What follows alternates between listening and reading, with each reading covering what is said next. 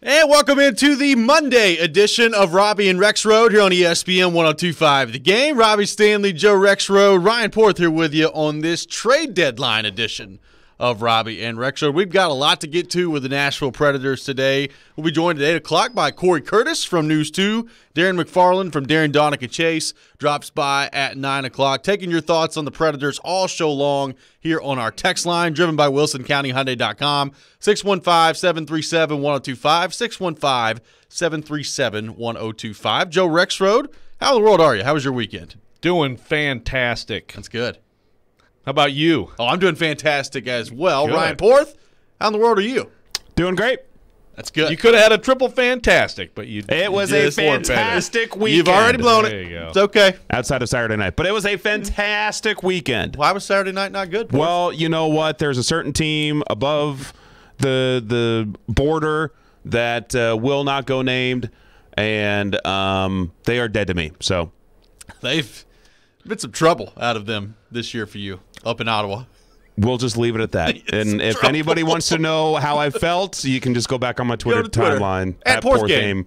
I was not happy Saturday night. So this is beyond weekend winners then. Oh no, yeah, this is well Yeah, yeah, beyond yeah. weekend winners. So Well basically, you just keep betting against the Ottawa Senators. Yes. not a great weekend. Don't weekend. count out the Sens, baby. Not a great weekend for me again in weekend winners. I, I had a bad weekend. One and five. One and five. Uh, That's back think- to back one and fives. Well, you know, Not a good stretch. no, I didn't do well either. I think you probably had the best week, Porth. Three and three. So okay, Average week, below average. Yeah. I'm surprised, you know, now that I'm looking at the board here, I'm surprised we didn't do anything with the Masters for weekend winners. What could what we you have do, done like- though? Yeah. I don't know. Well, yeah, I, yeah, I guess uh, other You than taking other Hideki than- Matsuyama or the field? Yeah. Over under on something. I don't know. I guess that would have had to have been independent. I guess I'm surprised maybe you guys didn't do anything independently. You could have. Well, I had it in called shot. Yeah, I picked Jordan Spieth to win. That didn't go well. Yeah. Tough one. I didn't watch any of the Masters at all. I watched all of it. That's my. The whole thing. the whole thing. Really? I woke up Saturday morning, put on E ESPN Plus, the the you know featured groups that they had going on before CBS started. Oh yeah, I was all about it. Wow. Well, congratulations. How about you? Did you split the difference? You watched some? No. No. Yeah. Well, I mean, I went to a restaurant. It was on. So does that count? No, oh, Okay. Then no, I didn't I watch mean, any. if you were if you were actually kind of watching and paying attention, I was. Eh, all right, more than me. Okay, good. So that we've split the difference here on the program. Congratulations to Hideki Matsuyama for winning the Masters. I did put a uh, a prop bet in there. The uh, the final tally, the prop bet at the time, I believe this was on Thursday, was the winning score being uh, minus nine or worse, or minus ten or better. And I did the minus nine or worse, and he won it minus eleven. So tough one. as he actually won it at minus ten. Oh, did he? Yeah, Don't mess with the golf expert. it's not what this says here. Yeah, it is what it says here. I can't read. Minus ten. minus ten. He bogeyed eighteen. There you go. Still won. So congratulations to him, and it was cool to see Augusta back. There's uh, some fans out there too, and uh, it wasn't the same though. no, it was not close to the same. like they they showed during a, a weather delay on Saturday. They showed the 2019 coverage. Yeah. and you're thinking, man, pre-pandemic with all those bodies all you know bundled together. still weird, on 18. Yeah, very weird. Yeah. That's one of the weirdest parts. Like going back and watching old sporting events, it's now weird to see all these people crowded together. Hopefully, we get to a place very soon where that's no longer weird. That'd be good. Joe, some other big news. We're going to get to the Preds hot and heavy coming up this hour. So continue to take your thoughts uh, on our text line, driven by WilsonCountyHyundai.com, 615-737-1025. And we'll touch on this a little bit more out of the show. But this, to me, I mean, just totally came out of nowhere this weekend. Eddie George apparently getting into coaching and taking the job at Tennessee State. First off, what's your reaction to, I guess, Rod Reed being out at Tennessee State? And what do you think about Eddie George moving into the coaching ranks in college football? So, like I said, didn't watch the Masters at all. Did go to Top Golf, however, with the family, and uh, got a text from a coworker Saturday about this. as a strong possibility. And we are like, well, you know, they play tomorrow, so, you know, then then you know we'll see you know, see what we can find out. You know, they got a game tomorrow, all, all that stuff. And in the morning, McMurph, you know, Brett McMurphy tweets that, and it's like, wow, that's uh that's awkward for Rod Reed. Yeah, yeah it you is. know, very awkward. So like the, the shock level wasn't there for me because I had a pretty strong idea it was coming. And apparently, I mean, Stillman tweeted yesterday. Someone called his show and said it was happening. And then I saw some tweet from like a deputy mayor in Denver or something who a few days ago tweeted this was coming. I, I, So it's I a worst kept secret, apparently. It's not a very well kept secret. Yeah, but um, The so- mayor of Denver. it was like it, it, not the not the mayor. I'll find it. it it's like a, some sort of official in Denver. Colorado? How in the world would he know? Well, he probably knows someone who knows Eddie George. Yeah. I don't know. Okay. all right. Well sourced. So, so this is a couple things with this. One is I'm assuming this leaked out on that side. Like, there's no way TSU wanted this to happen like this. I would not think so. For this to come out like this, uh, with and then you're asking Rod Reed to go out there and coach. So on the one hand, I do feel for him, and I know later in the show we're gonna have some sound from Rod Reed. Uh, that's that's a pretty uh, brutal finish, you know, the way it went down. As for Eddie George at TSU, I'm fascinated. I mean, it's going to be obviously the first thing you think of is Deion Sanders and Jackson State. Yeah. Um, you know, the the former NFL star who really hasn't been in the coaching world who jumps into being a head coach. Um, and obviously they they play each other next fall in Memphis in the Southern Heritage Classic. So that uh, alone is going to be like the interest in that iteration of that game is going to be uh, you know huge. But I mean, I just like to me, it's uh, it's great for TSU. I think. I mean, I think in terms of you know, there's a lot of attention on it. You're talking about a guy. I mean, look, if anybody who followed Eddie George as a player, I would say he always projected the traits of someone who might be a heck of a coach, oh, right? Oh, yeah. I mean, a very vocal leader. I guess my question would be, are you sure, Eddie? You know, because I mean, this is a very different kind of life you're signing up for here. That was my thing. Like, this makes all the sense in the world for TSU. I mean, it does. And, and look, I, I get it. He's not been a coach before, and that that is a concern, obviously. But you, you talk about bringing attention to your program. I mean, this this makes a lot of sense for TSU. My question would be for Eddie George, and like, okay, are you sure that this is what you want to do? Obviously, we've seen Eddie George.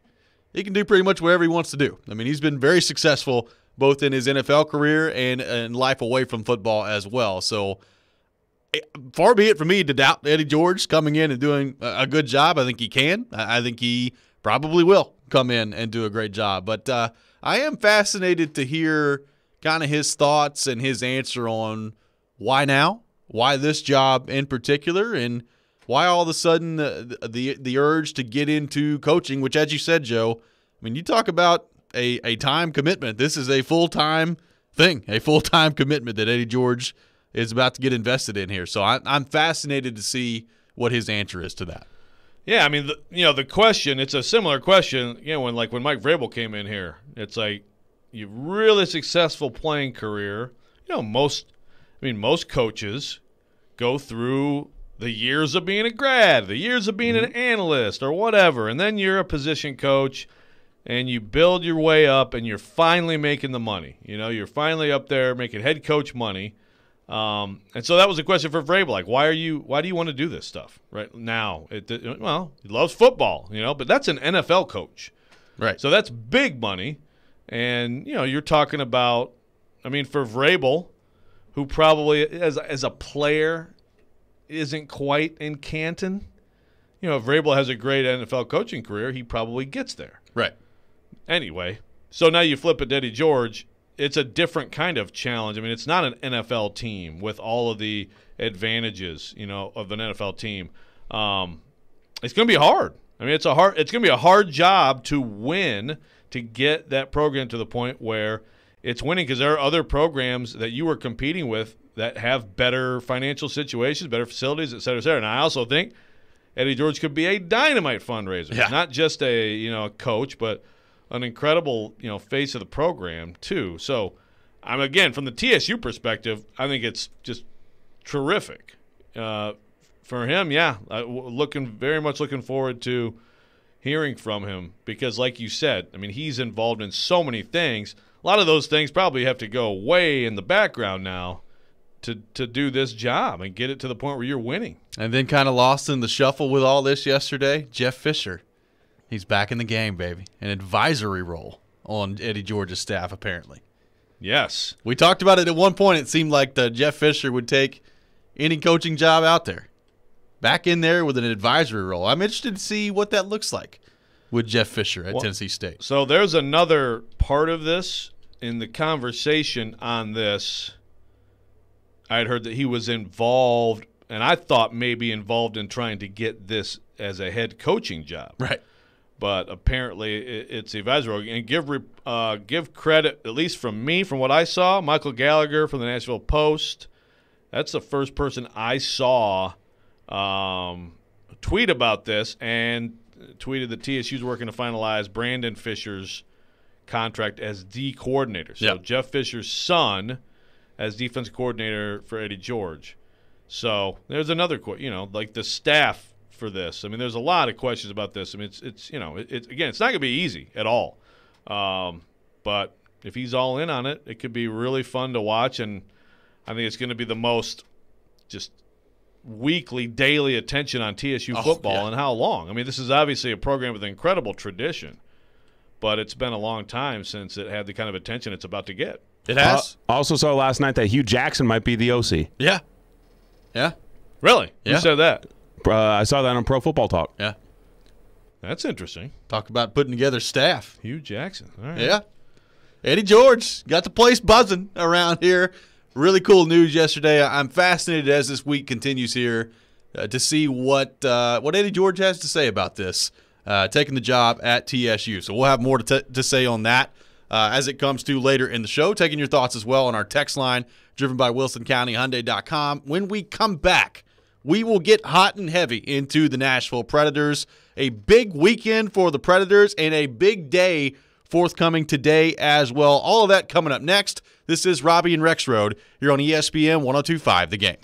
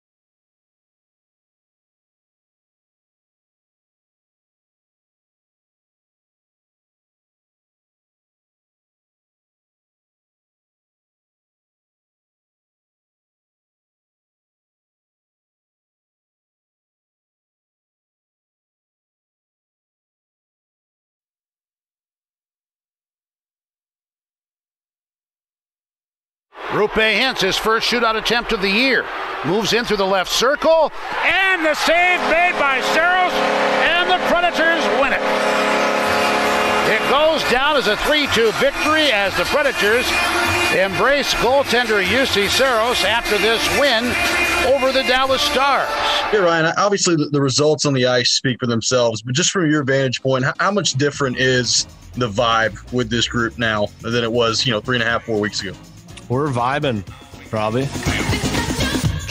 The Nashville Predators are vibing after a win last night against the Dallas Stars, three to two in the shootout. The Predators get it done. A huge win against the Stars last night, and now six points ahead of the Dallas Stars in the standing. Stars still with three games in hand on the Nashville Predators. Welcome back in, Robby and Rexrode here on ESPN 1025 The Game. A nice answer from Ryan Johansen last night in the press conference. You and Ryan vibing. Vibing together, man. That was good. It was a good answer from Ryan Johansen.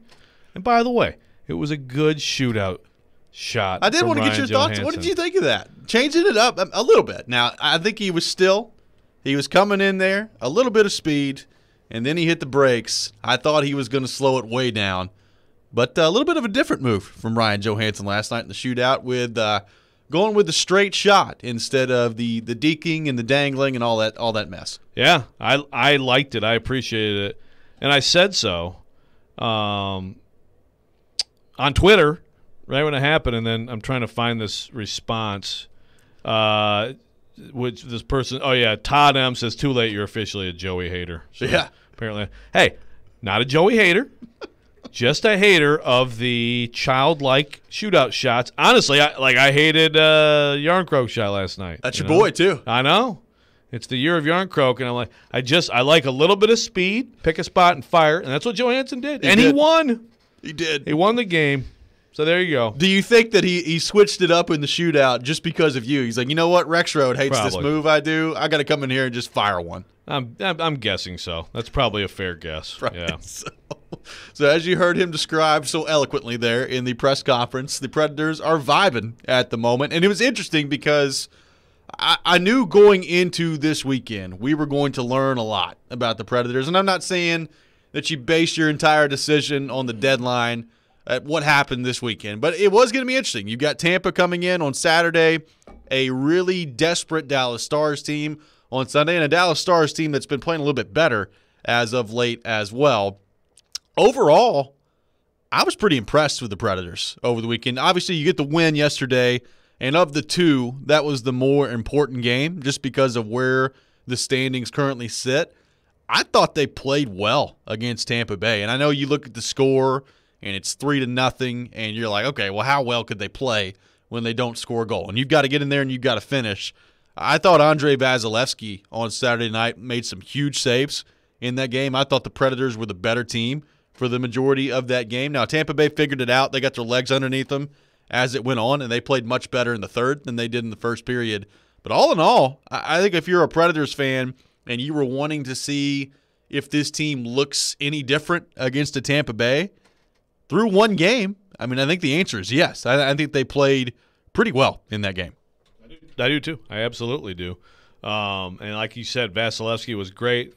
You know, some some tough luck for them. They had a couple chances that just you know, uh, you got to take advantage of those when you get them against those guys.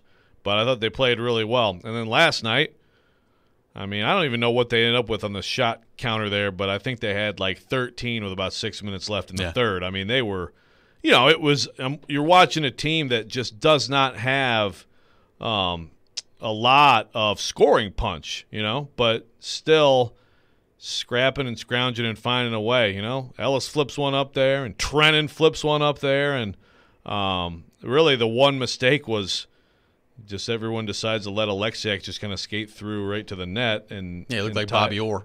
yeah, and tie the game. Bobby, Orr- by the way, one of you guys or somebody, and it was exactly right. Like Juuse almost Oh, that was me, told yeah. that was you. Yeah, that almost dunked one with 15 seconds left to uh, to win that sucker. It was impressive, and you could tell like the last three or four minutes, uh, it was almost like Juuse was like, "All right, I'm going to shoot every single puck that I get." I mean, it was it was impressive to watch, and he almost won it in regulation for the Predators there at the end. And you brought up Ryan Ellis good to see him back in the lineup. Makes an immediate impact. I thought he scored on Saturday, and then the play gets reviewed, and the puck was, you know, pretty significantly offside on that play. So that goal gets taken away. But he comes back last night, scores, and this one counts for the Predators against the Stars. I thought, all things considered, when you factor in that he's missed 20 games, Ryan Ellis came back in pretty immediately, played well, and had an impact with this group. Yeah, well, they need him. I mean, it's it's amazing how many people they're missing, and how many people they're missing, and we don't really know when they're coming back. Yeah. And there's 13 games left, and uh, it, a lot of what they have right now, you have to be so impressed with how they're playing, and you want to keep that together. But pretty quickly here, you need some more offensive punch to to be thrown in. And if you get that, then I think you got a great chance here to to end up in the four. But um, in the meantime, like the Trenin, uh, you know, Trenin last night. So, you know, they do normally with the what the stars of the game. They have everybody like fill it out normal times, right? We fill out. The Yeah, everybody although I hardly ever do. Right. Do you normally fill yours out? Most time. Yeah, I hardly ever do. But so last night, like I was asked to do it. Like they're doing one person. Yeah. And I was like, Trenin's the, the I don't care what happens this game. Trent, and I don't know what he ended up. What he ended up second or third star. But Trennan third, last yeah. night, just watching him, I mean, he's just destroying people all He over was. the ice. Just destroying. And I mean, I mean that line, like that to me is like as important a line as as you have. And I haven't even looked at the uh, ice time, but they got a lot of it because like they set the tone. And I heard Hal Gill on the postgame last night, and he's exactly right. Like that line, how valuable would they have been in that playoff series two years oh, ago? Oh, yeah. right? Like that, they just got pushed around by Dallas back then in that series, no doubt about it. They got pushed around, and you know those guys, and again, even like Jeannot last night, Just wrecking people. so I mean, just that alone, like you know, they're doing things. They have some things in place that give them a different dimension. Now, if you can retain all this, and then Forsberg, Tolvanen, could be interesting. Yeah, it absolutely could be interesting. And to your point, I, I thought they answered the bell physically really well. And it- it's it's hard to overstate how important the game yesterday was. The response after you lose against Tampa Bay, you got Dallas coming in there. They had just throttled Florida the day before. And if Dallas wins that game in regulation last night, all of a sudden, I mean, and I looked at the percentages. I don't have them right in front of me, but the swing in terms of that fourth playoff spot, I mean, it was massive if Dallas was going to win that game. And John Hynes talked about the importance of the game, the, the response the Predators showed, and kind of the approach that, that the Predators took heading into that game against the Stars yesterday. Here's what Predators head coach John Hynes had to say last night after the game. we really focused on the on the competitiveness of the game. You know, it's it's uh, we're all aware of the standings, and but it's it's the best time of year, and this is when you know the most competitive games got to bring out the most competitive men, and you know we talked about really enjoying the process. We knew it was going to come in. We have a lot of respect for Dallas. It's you know they're a good team. They're they're a hard team to play against. They're really well coached. So we knew coming in that you know we talked about it this morning. It's going to be uh, you know Master Sunday, and it was going to be a playoff type game for us. And uh, just really proud of the way that the guys have readied themselves for the games. And you know the commitment level the pushback in the games the physicality throughout the lineup you know we we do have some players that are playing you know big stronger guys that are very physical. But i think when you look throughout our lineup doesn't matter the size or who the guy is the the the competitiveness in the lineup is is making a big difference. And that's how you win hockey games. So that was Predators head coach John Hynes after the game last night. And Joe, I think to his point there, I mean, the physicality was a big part of it, but just kind of the moment itself. Like, I mean, you've got a lot of young guys in there that have not played in some of these high pressure games at the NHL level. And look, it's one thing you go out Saturday night, you're playing the defending the cup champs, and you play pretty well, and it just doesn't fall for you. I, I was interested to see kind of what the demeanor was after the game. The Predators were very positive after that game on Saturday night against Tampa Bay. And then yesterday, as I said, I mean, it's a massive game yesterday. If you lose that game, Dallas is going to be in the driver's seat in terms of the games in hand that they would have and the way they've been playing to maybe get that fourth spot. And you come out, you respond the way that they did. I thought they played well for the most part. And even when the you know Dallas was controlling the play, the ability to hold on and the ability to not make the crucial mistake. Those were some attributes yesterday from the Predators that I was very impressed by. Like just the, the to handle the moment, to win the game, even when you're getting hemmed in your own zone, you're not giving up, you know, these grade A quality looks in your own zone. I thought they did a really good job uh, of handling that pressure and responding to the loss on Saturday. Well, the penalty kill was huge Yeah. last night, and at times, so there was a penalty kill in the third period where the second unit was caught out there for a long time. Oh yeah. that was exhausting to watch. But there was, to your point, there was a there was a Stars possession in the offensive zone that I swear took like six minutes. It was so Uh, it was just cycling and cycling. It's just they could not clear the puck. I mean, so, a couple of those guys out there for the Preds, and I don't remember who all was out there. Granlund looked like he needed an oxygen tank like at the end just of it. like yeah. please get me out of here. And they they hung in there. They hung, and again, we still. I mean, we've gone this far without talking about Saros, who. I th- I think with him sometimes. I mean, people have said it, but I think he's so quick to react to some things that you don't realize how good some of the plays are that he makes because he it was just really good last night. There you did not have a bunch of highlight saves and they didn't have like a ton of grade A chances, but he stepped up big, you know, when they needed him for sure. And even on some of those plays where you just need a whistle, like glove that thing down and give us a whistle and get out of there. I, I thought he was really good in that area too. So a big response for the Nashville Predators yesterday, and now that leads us into a very interesting spot here today with NHL trade deadline day finally upon us. We've talked about it a lot here on the show. Now that the picture is complete and it's no longer time for debate, it's time for decisions. What do the Predators do today? What should the Predators do today? We'll take your thoughts on our text line, driven by WilsonCountyHyundai.com, 615-737-1025, 615-737-1025. We'll talk about that coming up next. Right now, though, got to tell you about my friends at FanDuel Sportsbook. And one of the things this time of the year that I love about betting on basketball is I'm always finding new player props or game props that I like. And what's cool about FanDuel Sportsbook is you can combine those props with other bets from the same game to score an even bigger payout. And it's called the same game parlay bet that you can only find on FanDuel. You can combine the money line, the point spread, the first basket score. They've got all sorts of options for you to combine. And if you haven't tried FanDuel Sportsbook yet, new users get a risk-free bet up to $1,000. Just place a bet and FanDuel will refund you up to $1,000 back in site credit if you don't win. And right now, new and existing users can get up to $25 in site credit back each day if your parlay falls one leg short with same game parlay insurance. You heard that right. Every single day. That's one of the many reasons why I bet on FanDuel. So just download the FanDuel Sportsbook app today to try a same game parlay and use promo code ROB at signup. That promo code is ROB. You must be 21 or older and present in Tennessee. Refund issued is non withdrawable site credit that expires in seven days. A max refund of $25. Terms apply. See sportsbook.fanduel.com for details. And for problem gambling support, call 1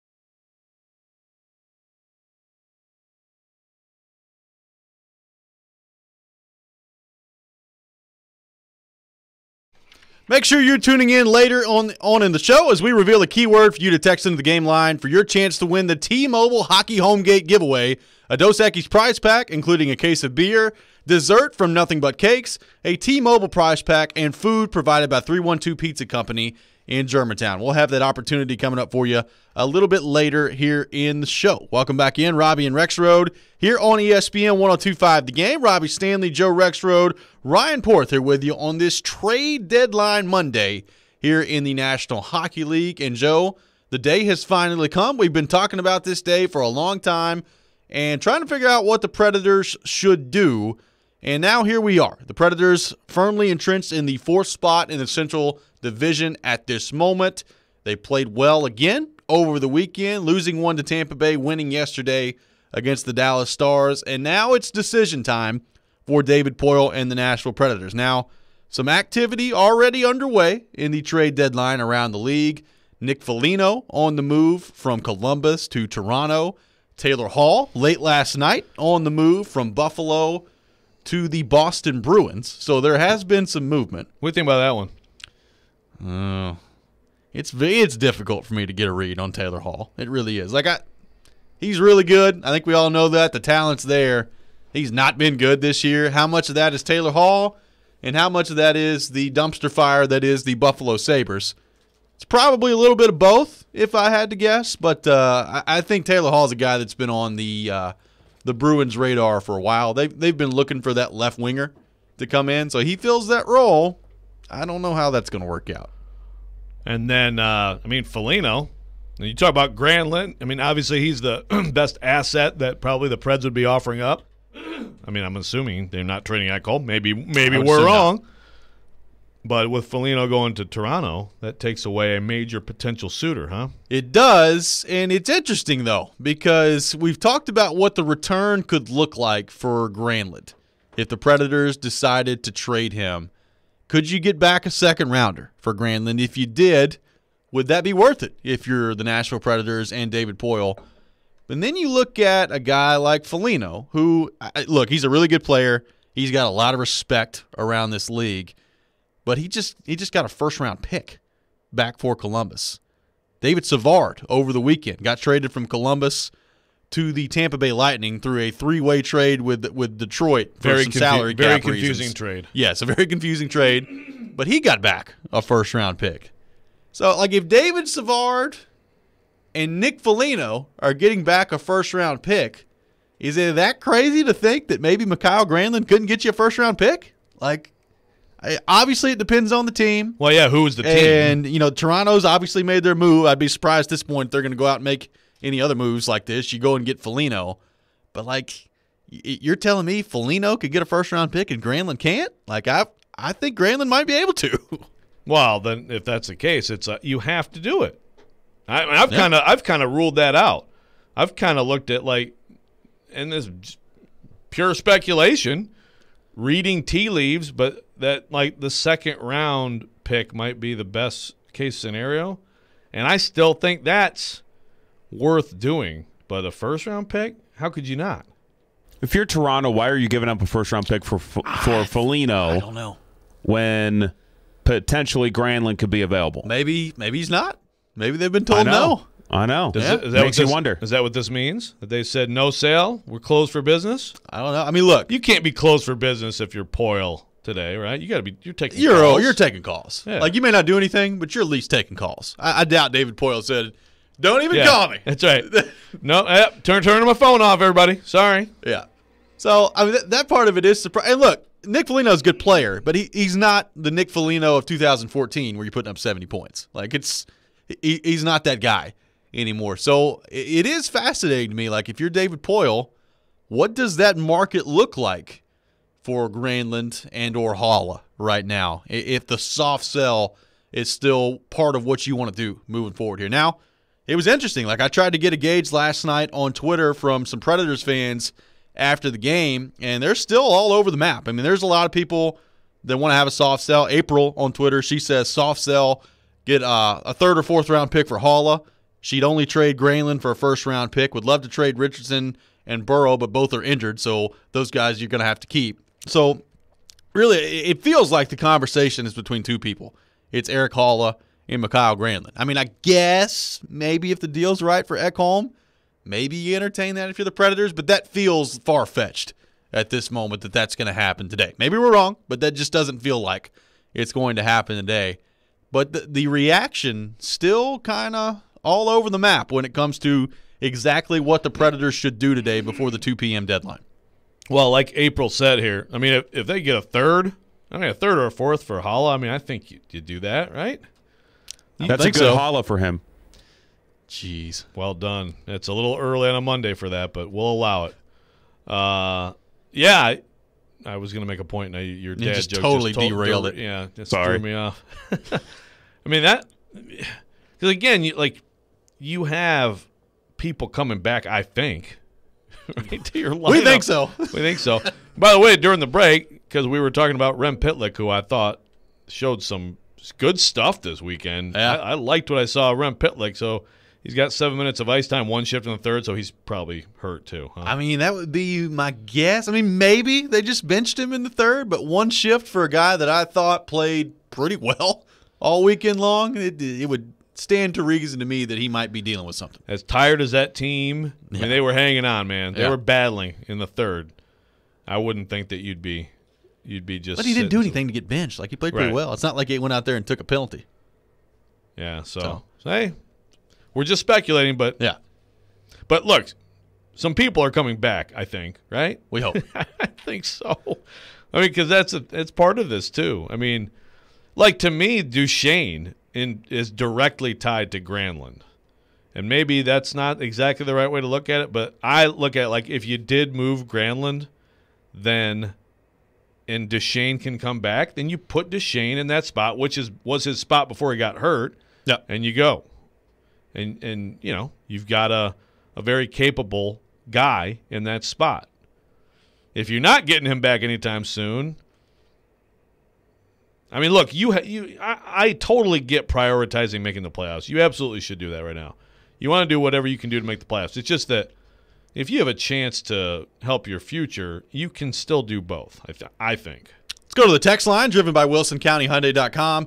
Nate texts in says, "I'd like to see players like Haula, Benning, and Bor- Borowiecki get traded. The thing is, it's kind of hard to do if the Preds don't have a partner, so I don't think they'll do anything. It's not like you can just move almost anyone this year. It is a different trade deadline, and it is kind of a more, I, I think, limited trade deadline in terms of what you could do. Like, I- don't anticipate any defensemen being moved." just me. I mean, maybe maybe I'm wrong. Maybe maybe something big happens today, but with all the problems they've had on defense and all the different bodies they've had to turn in and out of there, I, I don't anticipate anybody being moved. And you know, Borowiecki's hurt, so he's he's not going to get moved anywhere today, anyway. But it is interesting. Like you, you're looking at this right now. If you're David Poile, this has become, I think, a, a very difficult decision, and I, I'm fascinated to see what they do. I said it in Call Your Shot Friday on Friday that I would still, I still would, I would do a soft sell to some degree, but my gut is telling me that this this deadline is going to come and go, and the Predators won't have done anything today. Do you still feel the same way that, based on what you saw this weekend, it's likely the Predators stand pat? I mean, if I had, if I absolutely had to bet today on what they're going to do, I would probably bet Stan Pat. Uh, I but you know this is this is where like you're right. It's fascinating to see what they'll do. What we probably won't find out is exactly you know How what- close? well, or, or even what exactly is being offered up. Right. I, one thing I just don't know is, uh, you know, like like the texter said there, or tweeter said, um, who who's who's in? Who's in on this? Who's who's uh, still interested? Vingan and I sat there on press row and did a back and forth, which is on the Athletic today, about this whole thing. And that's what one thing I asked him was like, who who's the suitor? And he, of course, he made a joke about Laviolette uh, getting in there. did. maybe that's it. Maybe, Maybe it is. Maybe the Caps, huh? Yeah. David Poile likes making deals with the Capitals. He does. Right? It's worked out okay He's for in, him. he has enjoyed that. But that's that's a big part of this. Obviously, is like who is it who now uh, uh, wants a Granlund, needs a Granlund, and, and would pay enough to make it worthwhile? It's a great question, and we're going to find out our answer. Trade deadline today at 2 o'clock Central Time here in the National Hockey League. And we want your thoughts on our text line, driven by WilsonCountyHyundai.com, 615 737 1025, 615 737 1025. What will the Predators do today? What should the Predators do today as the trade deadline approaches by the hour? Coming up here on Robby and Rexrode. And of course, we'll keep you monitored all show long on the happenings around the NHL as well. All that coming up. This is Robby and Rexrode here on ESPN 1025 The Game.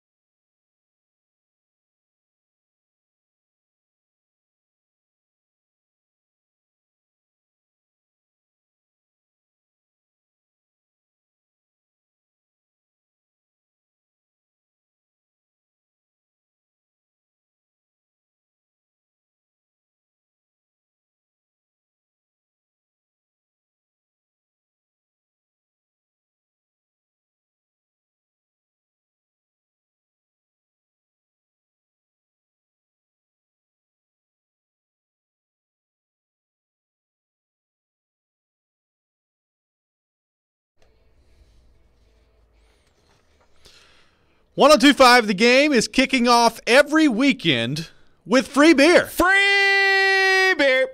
And who doesn't love free beer? Make sure you're tuning in all day on Friday for your chance to win a $25 gift card from Bavarian Beer House located at Opry Mills Mall.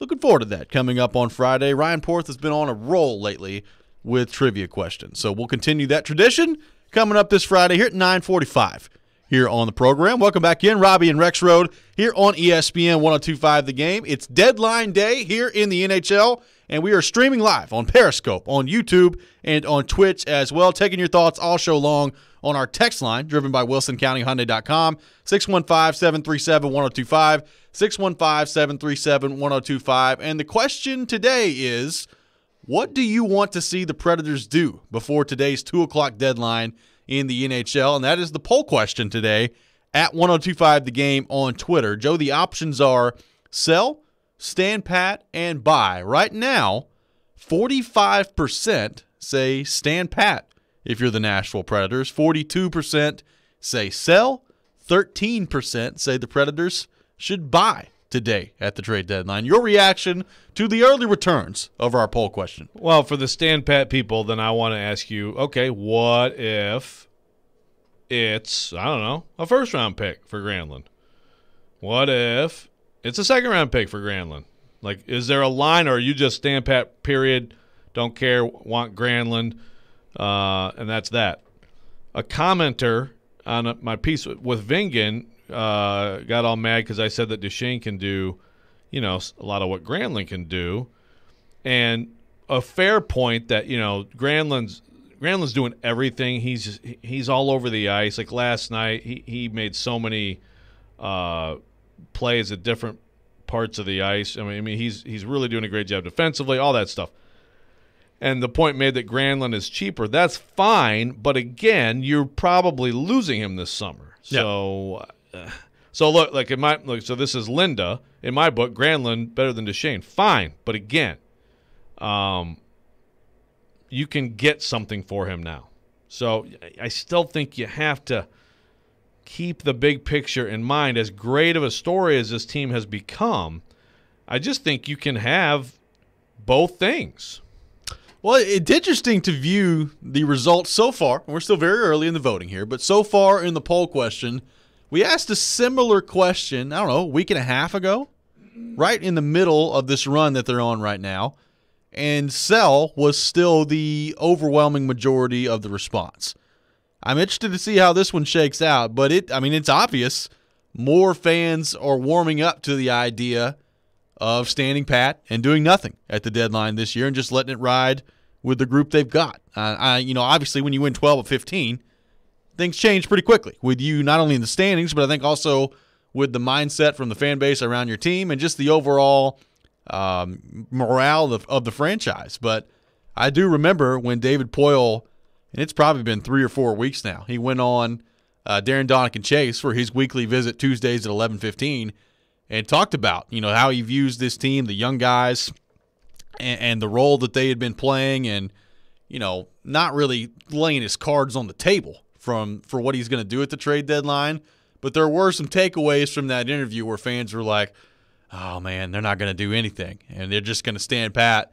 And there was like total panic on social media about that. I, I, wonder if that interview took place today, what the reaction would be. Because my my initial reaction to that would be that it's a lot different with Predators fans right now. Yeah, uh, it's just like to me, and that's fine. I get it, but if you can, let's see. You haven't had Forsberg since March 25th. Last week you lost Tolvanen, you lost Olivier, you lost Fabro. You haven't had Carrier this month. Um, then there's some other, you know, lesser injuries like Richardson, Borowiecki, you know, but that's a lot of key players. So if you're missing all those guys and you're doing what you're doing right now, why can't you do things without Granlund? Is he the linchpin? Is he is it, is everything built around him? Well, provided some of those guys are coming back, yeah. Yes, that's true. I mean, Carrier. I'm sure they. I'm sure they are. We've been told. Maybe not that far away, but yeah. Well, like okay, so Olivier Carrier, they're they're long term. Yeah. I mean, they like if they if they get to the playoffs, you might see those guys again. But you know, I don't know. We'll ask Duchene Wednesday again. I mean, obviously he was doing well and then not so well. Yeah. But that could happen anytime. Forsberg could happen anytime. I mean, that, that's the. I mean, look, the week to week thing never a good those guys are all week to week. Duchene, Forsberg, Tolvanen. Uh, but it's been one for Tolvanen. It's been a few for Forsberg. It's been one for uh, Fabro, and it's been now five weeks for Duchene. He was originally a three to five week guy, right? Yep. That's that is part of this equation, certainly. I mean, David Poile has that information too. He has much more detailed information than the public has on exactly how guys are trending. So I guess if you're like, well, you're not getting these guys back anytime soon. So if you move Granlund, I mean, you're already struggling to to uh, generate chances. Maybe that's tough, I, and I get that. I do. I still would say, what's the price tag? What is someone offering? And look, eh, they may go through today, nothing happens, and it may be that they just don't get any kind of solid offer, and then Yeah. and that's that's what David Poile should then tell us that and tell us exactly what the offer was, and then everyone cannot be mad at him. I, I just don't feel like the current state of the injuries is a reason to not trade somebody. Agreed. Like, if you have to go a week with somebody like Rem Pitlick playing out of position on the depth chart, fine. Tell them to join the club. They've been doing that for a while now. Well, like, are are you really going to sacrifice an asset like a first or second round pick for that can help you for the next five to eight years because of two weeks of a injury bug? Well, but the okay, I, I I think we're all on the same page there. But the counter to that is, well, uh, it's been a rough go here financially, and it's a big deal to make the playoffs. It's a big deal this year. It's a big deal for next year. I've seen the season ticket stuff get tweeted out every half hour, and so it's really important to do that. And if you take out Granlund right now, and now that might all of a sudden I'm not saying I agree with that because I, but I'm saying that's the counter. There, Sure. there is a counter to be made. Well, and also, how much value is there this year for that first or second round pick compared to a normal year because of the uncertainty around the NHL draft and the lack of scouting for these prospects? Then there's also there's also the question of, and we've talked about this, but how do you feel about Granlund and his feelings? sure. in terms of re-signing. You know, I mean, is it possible that uh, that there's a long-term deal to be made? He loves it here, likes it with the team. You have a good feeling for that, and so you'd rather ride it out and and try to make that happen this summer. That's possible. I think that only happens, as you've pointed out, if somebody else is gone. The NH- NHL.com has just put out their watch list, the trade deadline watch list, uh, as the 2 p.m. Central Time deadline approaches today. Granlund on that list for the Nashville Predators. Near the top of the list of defensemen, Mattias Ekholm on that list for the Nashville Predators as well. So I think the, the vibe around here locally, we've talked a lot about vibes here today on the program. We are vibing here on Robby and Rexrode. But the vibe, I think, locally here is the noise on Ekholm has calmed down. And with the winning the Predators have done as of late and how, how important he's been to that winning, that that probably doesn't happen today. I still feel that way. I would at this point be surprised if Ekholm gets moved today. But it is interesting. He was the talk of the trade deadline for weeks when the Predators were going through their struggles. Maybe you find a team somewhere along the way today that looks at the moves that Tampa's made, looks at the moves that maybe Toronto has made, and says, God, we really need Mattias Ekholm, and they just offer you a king's ransom. What do you do at that point if you're David Poile? Well, maybe that happens. And I think you got to think real hard about it. I mean, uh, from the start with Ekholm, I think we agree like that's just a guy that that's a big, big loss if you lose him. Yeah. And it's a proven player, and you know you don't know what's going to happen with a first round pick or even a prospect. I, I'd want to see what the haul is. Hawkeyes Preds guy says, "Can we get an on-air apology for those that saw this coming two weeks ago, two three weeks ago, when Poile said he was happy with the team he had? No, because it, it's not over yet. So maybe At tomorrow. 203 today. And Actually, you got to leave some time for some like late moves to come in that are at the deadline. So at 332 today, a random time I've thrown out there. If they've done nothing, maybe we'll give you an apology. Maybe. Well, look, here's the thing, Hawkeyes Preds guy. You, you can say you saw it coming, but we don't know the conversations. I just my my thing then was, do we really expect Poile to sit here and say, "Yeah, I'm about to trade a whole bunch of guys"? You know, I mean, I, I just I didn't think that his comments were as indicative of what was going to happen as some people did. That may end up happening. It doesn't mean at that time he was resolved. I don't believe that at all, that he was resolved to not do anything. Today, I don't think right now at this moment he 100% knows what's going to happen because he doesn't know what's going to come on the other end of that phone line. Sure. I mean, you don't know this stuff. And, and a lot of times, right by the deadline is when some of the sweetest offers come in. Dave on Twitter says offer Granlund a three year deal. If he doesn't sign it, ship him out. He's not going to sign a three year deal. This, I mean, you could if you're Granlund, you could get a long term deal this offseason. He's not signing a three year deal right now. So if that's your standard, I guess you'd have to ship him out because Granlund's not going to sign a three year deal. How confident are you that he's going to get a long term deal in the offseason? I mean, Flat pre- cap. he stayed in the free agency pool for a long time. I'm pretty confident. You've got ESPN's money coming down the line. There's, the cap's going to be going up in the next few years. But I'm pretty confident. But it's going to be a few years, right? yeah. I mean, the player, the owners are like, the owners have been shorted, right? And the players have gotten more through all this. So, but yeah, I kind of disagree with that. I don't think Granlund is going to get a three or four year deal in free agency. You think he's just going to keep signing one year deals?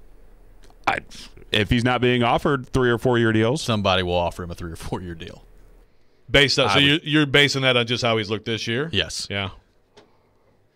Somebody will offer him a three or four year deal.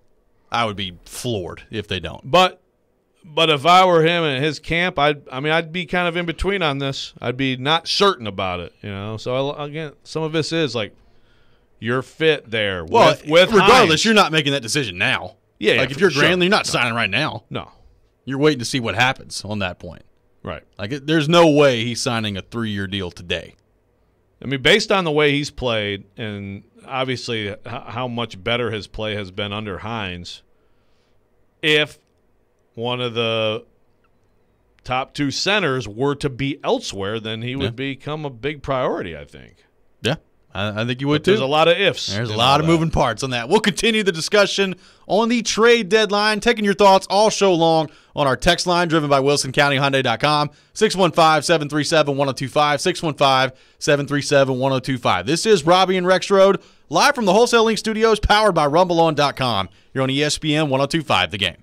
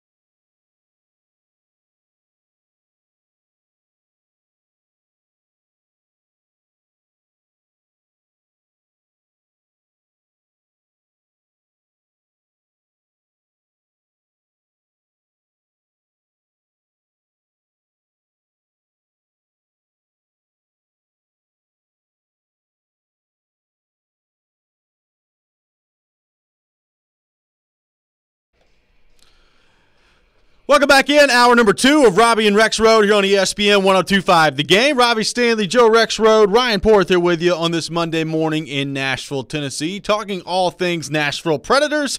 Taking your thoughts on our text line, driven by WilsonCountyHyundai.com, 615-737-1025, 615-737-1025. The trade deadline in the National Hockey League is today at 2 p.m. Central Time.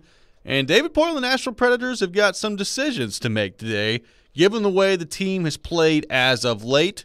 What do you think they should do today? Taking your thoughts all show long at 615 737 1025. Corey Curtis from News 2 dropping by at 8 o'clock. Darren McFarland at 9 o'clock. We'll get into the Predators with them as well. Joe, let's go to the text line driven by WilsonCountyHyundai.com. JD text in.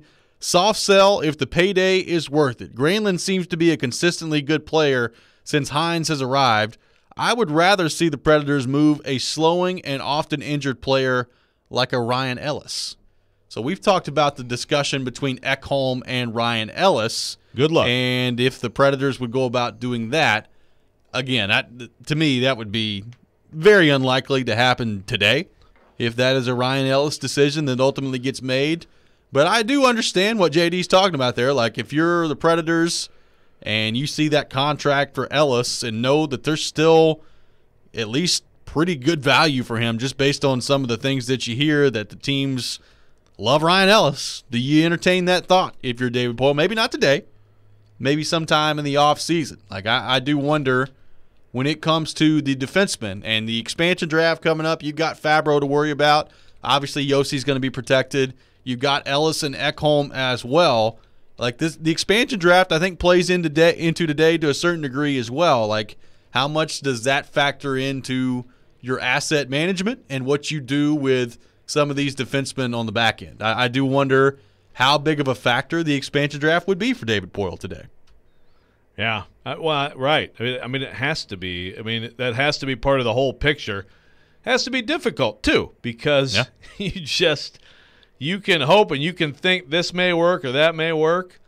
I don't know. Does he have friends close enough that you know they can have a off the record discussion right now about you know what may happen in the future? Maybe. I don't know. How, how often does that happen? I don't know. I mean, I would think some, Some, maybe a little right? bit less on days like today. I don't know. Yeah. But that's I mean again that that's part of the puzzle with Granlund too and the injuries now and the importance of making the playoffs now and then what you're offered. There's so much that we don't know about the whole thing. It's not as simple as you choose to do this or you choose to do that. You know, you made a mistake here, you made the right call here. You know, all these factors that are part of it make it, uh, I would think, a very interesting and challenging day to be a GM. It is interesting. It is challenging, and and it's also, I think, interesting to try to determine exactly what the market is right now. Like we've talked about, Nick Foligno was on the move from Columbus to Toronto, and Columbus got back a first round pick for that, and you get back a first round pick for David Savard as well, and then you're Buffalo, and you're trading Taylor Hall, which in theory should be a bigger name than Nick Foligno and David Savard, and Buffalo gets back a second round pick from the Bruins, and also Anders Bjork, who I mean he's a he's an NHL player, but I mean he's not he's got five points in thirty games this year. So and you're also if you're Buffalo, you gave up another player as well, Curtis Lazar, going back to Boston as well. So you would think like if Nick Foligno is getting a first round pick, why in the world is Taylor Hall not getting a first round pick? Like what is the market value for a Granlund or for a Haula? Slap in the face to Taylor Hall, huh? Could this be just Buffalo not knowing what they're doing? Could it also be that teams just don't want Taylor Hall? That could be. Yeah, I would think so. I think if you're Taylor Hall today, you're feeling a little humbled, right? Yeah. Well, I mean, look, Probably been feeling that way for a while. But yeah. yeah. All I can say is if like Ryan Hartman was worth a first round pick a few years Yeah. ago, I think Paul Granlund, I think Gaustad. Granlund is right now. Paul Gaustad, Paul first Gaustad, round pick. Mike Santorelli and Cody Franson. Yeah. There've been some doozies over the years. But as Brendan we've, Witt. We've talked about, though, I mean, each deadline is different. I mean, what a player was worth at one deadline is not necessarily what a player is worth at another deadline. I think we're finding that out here. But it is interesting just tr- trying to determine exactly what the value is. Now, in Foligno's case, I mean, you're talking about a guy who not only can play, I think, anywhere you want him to play, whether that's in the top six or on a third line role or, any, or something like that if you're Toronto, but also what he brings to the table in terms of his leadership and the respect that he has. Like, I do think teams, maybe sometimes to a fault, put more emphasis on that and maybe pay a prior high or a higher price for players like that when it comes to the deadline. And Foligno, I mean, look, he's 33 years old. He's got 16 points in 42 games this year. Like, he's not going to come in and just light the world on fire for Toronto, but he is a guy that's done a lot of of leadership. I mean, he's been the captain in Columbus forever. He had 73 points back in 2015. He's been basically a 30 point guy the last few years. So I, there's value there, and he's the type of player that I think can help you in the playoffs. And believe me, Toronto's got enough skill. They don't they don't need to worry about all that. Well, maybe yeah, maybe they need more of that. More Yeah. of the intangibles. But it is it's interesting how a guy like that's valued at a first round pick. And then Taylor Hall, who albeit has not been good this year, but you know, I mean he's former league MVP. You can't get a first round pick back for Taylor Hall? yeah, That's it's odd to me. yeah, yeah. So some so the intangibles maybe aren't in his favor the way people look at, it, but also the injuries, right? Yeah. That's part of it. But yeah, I mean, there's some there are some moves and some prices that don't add up, and I mean, some of it may just come down to like bad GMing. You know, Yeah. some of these teams. I mean, it's uh, it's it's it's not linear. It doesn't totally all add up together. Let's go back to the text line driven by WilsonCountyHyundai.com. Ryan in Nashville text in a soft buy for the Predators. Get a few depth players to help with all the injuries. Oh gosh, So Ryan going the other way, saying, bring some people in. you trolling us, Ryan? You trolling right now? He's not alone. Go back to the poll question. 14% want the Predators to buy. Okay, what percentage of Twitter is trolls? I don't know, but I'm just telling you what the I- poll question says 14%. At least fourteen percent. Oh, in terms of the overall trolls? Oh, Yeah. it's, it's higher than that. So you know, It's probably about 50 50. I was about to say, it's higher than that. I mean, that could be all bots voting right there. You know, that could be all bot voting. Can they do that? I can't believe. I don't. I don't think bots can vote They on can't? Twitter. No. No. Well, they can. They can uh, make Fill uh, out one of those captures on the vote now? Yeah, exactly. and get into arguments. Determine these three pictures that have a stop sign. We we should have that with our polls. We should have uh, prove that you're a human uh, aspect to it. I just can't believe anybody would seriously talk about buying right now. But he's not saying a big buy, a soft buy. you Yeah, bring in some depth. I mean, they played 1,000 defensemen this year. Maybe you need some help See, on the back end. You're trolling now. I am. You're trolling in, in real life. Yeah. No. He might be he, he might be just saying, you know, the seventh round pick for Jan Hlavac back in Yeah. 08. Oh yeah, I remember that one. Yeah. Do you? Hlavac was actually pretty pretty- good for like shook, 20 games. That shook Point the game sports player. world. That shook the sports world top to bottom. Hlavac made a great play in uh, in one of the playoff games against the Wings. Hibbs on Twitter says, I want them to buy just to see Joe have a breakdown. I'm with you, Hibbs. Do you I think Hibbs? Predators should buy today. By the way, speaking of a Joe breakdown, Yeah, coming up at 745. Don't oversell it. We are excited for the debut of the Rex Rant here on Robby and Rexrode. You can catch that later this hour. you excited, Joe? Well, yeah. The problem with the, the I like the name. It's a good wordplay. Thank you. But it's you know I I don't know that these are always going to be me screaming. I'll try. You don't have to scream all the time. Okay. Does a rant have to be a scream? No. You No. Can, you can be calmly ranting. Okay. As long as it can be a calm rant, that's fine. It's fine. We can do I don't know if forward it'll be it. calm after you hear the music that leads you in. Okay, yeah. Oh, we could get you fired up a little bit there.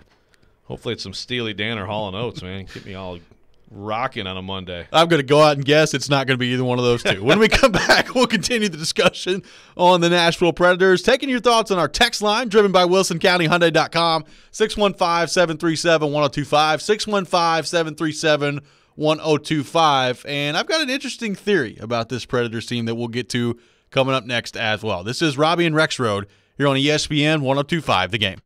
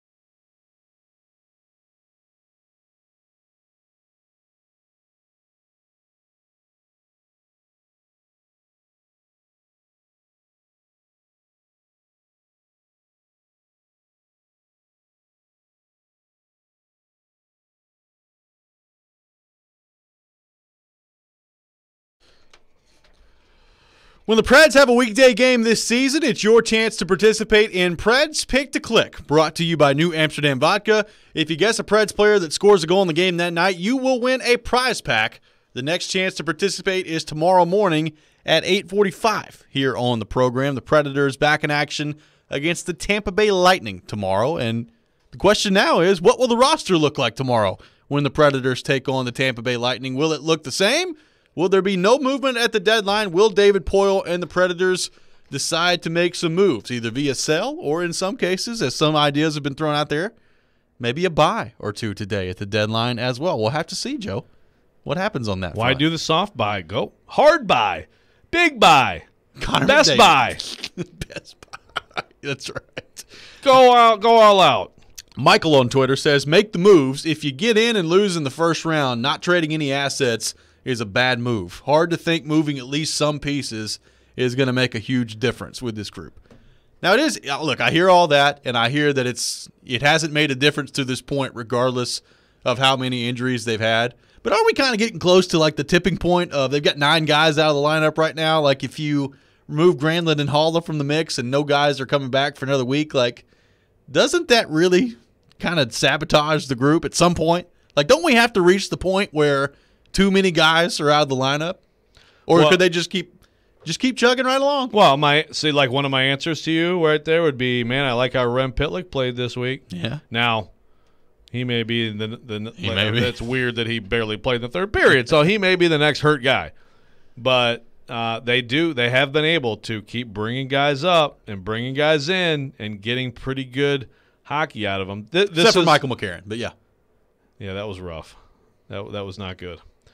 Got suspended two games over yes, yes, deservedly so. Why is he on an NHL roster again? the. Uh, yeah, I don't know.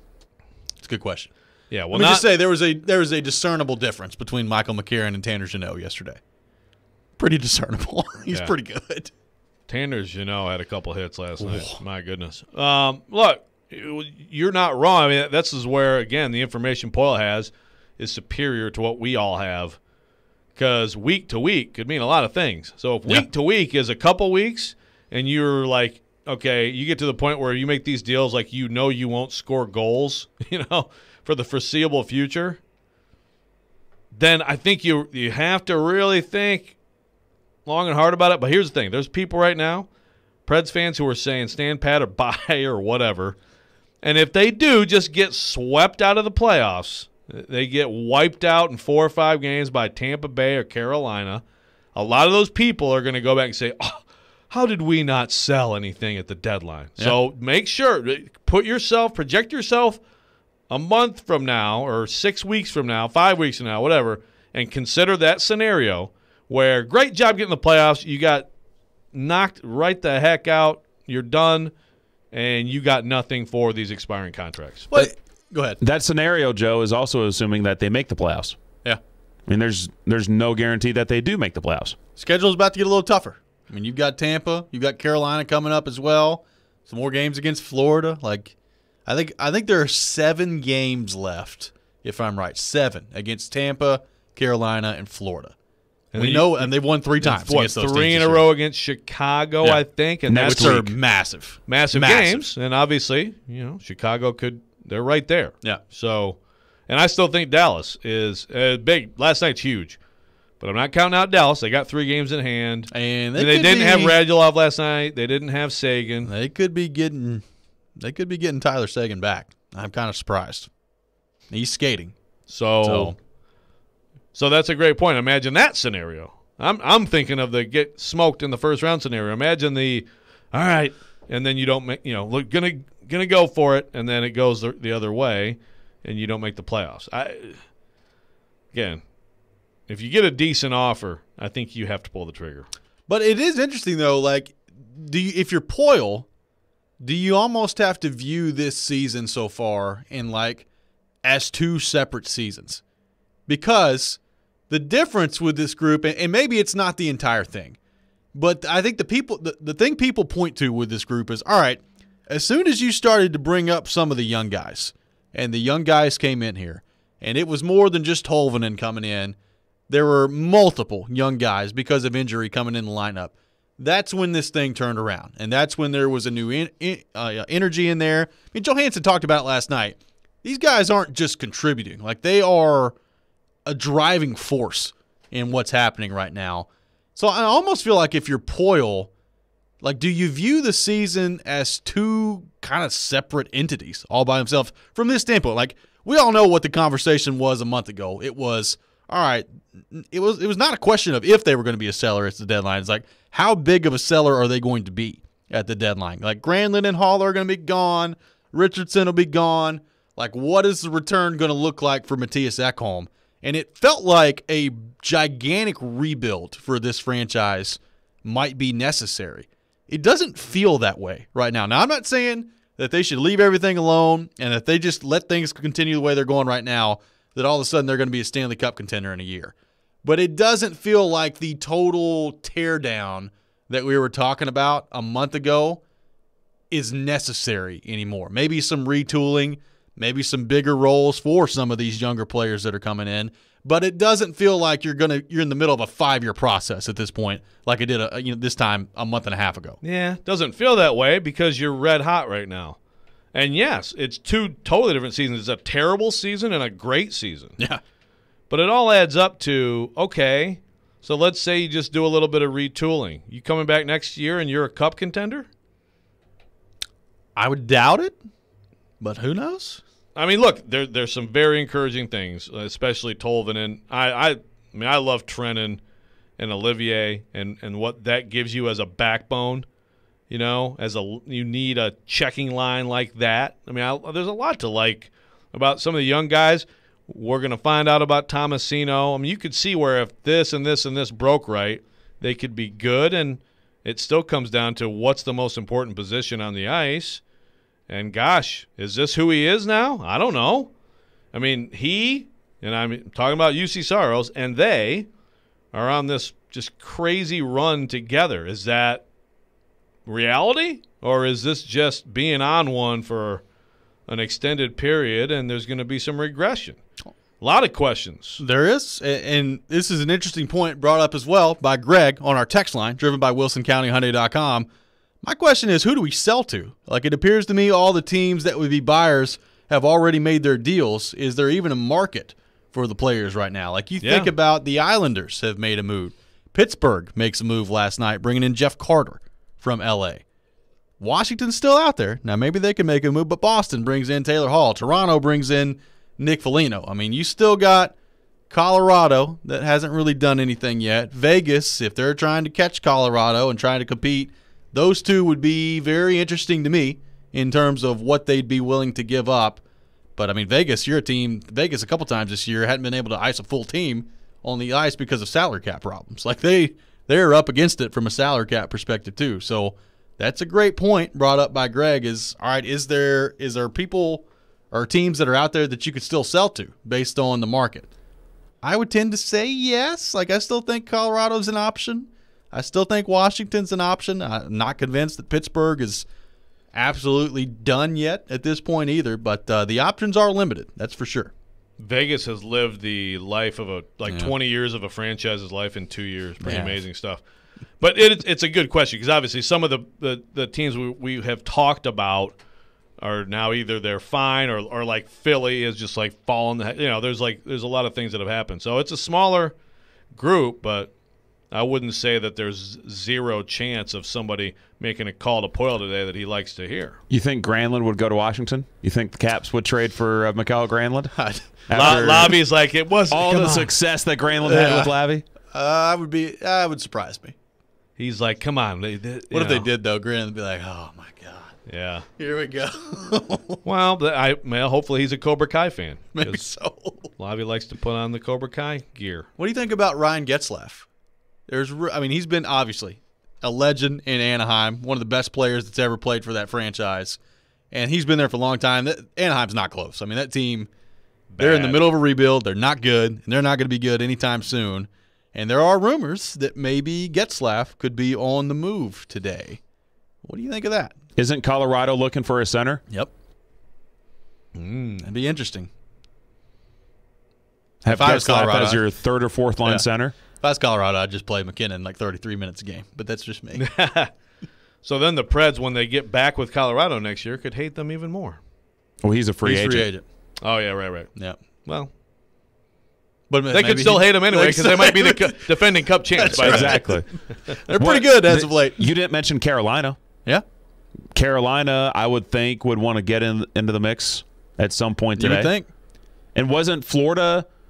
Did Florida clear all that money and they still haven't done anything? Yep. And that's a team to keep an eye on because they cleared some money over the weekend, and it kind of feels like they are opening themselves up to maybe a bigger deal. Now, maybe it was being in on Taylor Hall and they lost out on it. I don't know. But I would keep keep an eye on the Florida Panthers today. Joel So- Quenneville doing some business down there. I would think Florida would want another top six forward. Yeah.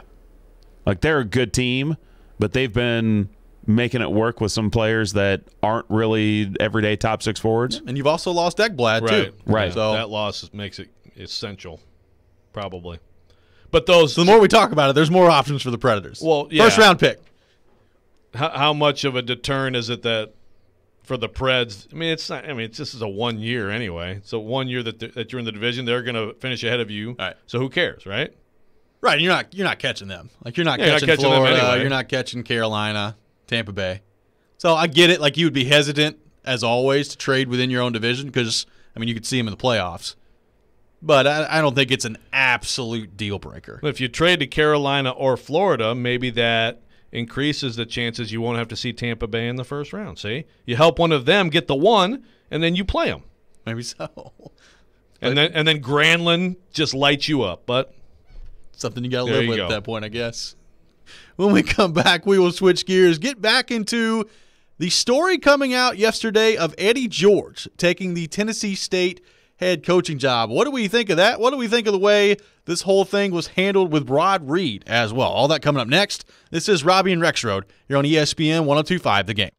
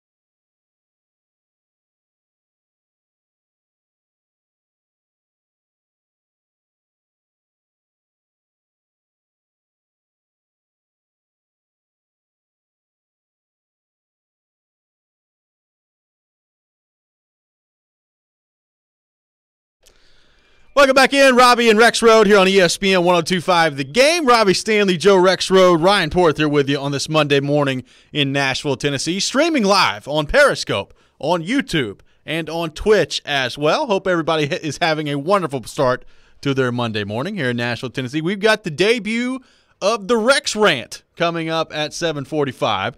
So looking forward to that coming up here in about 10 minutes or so.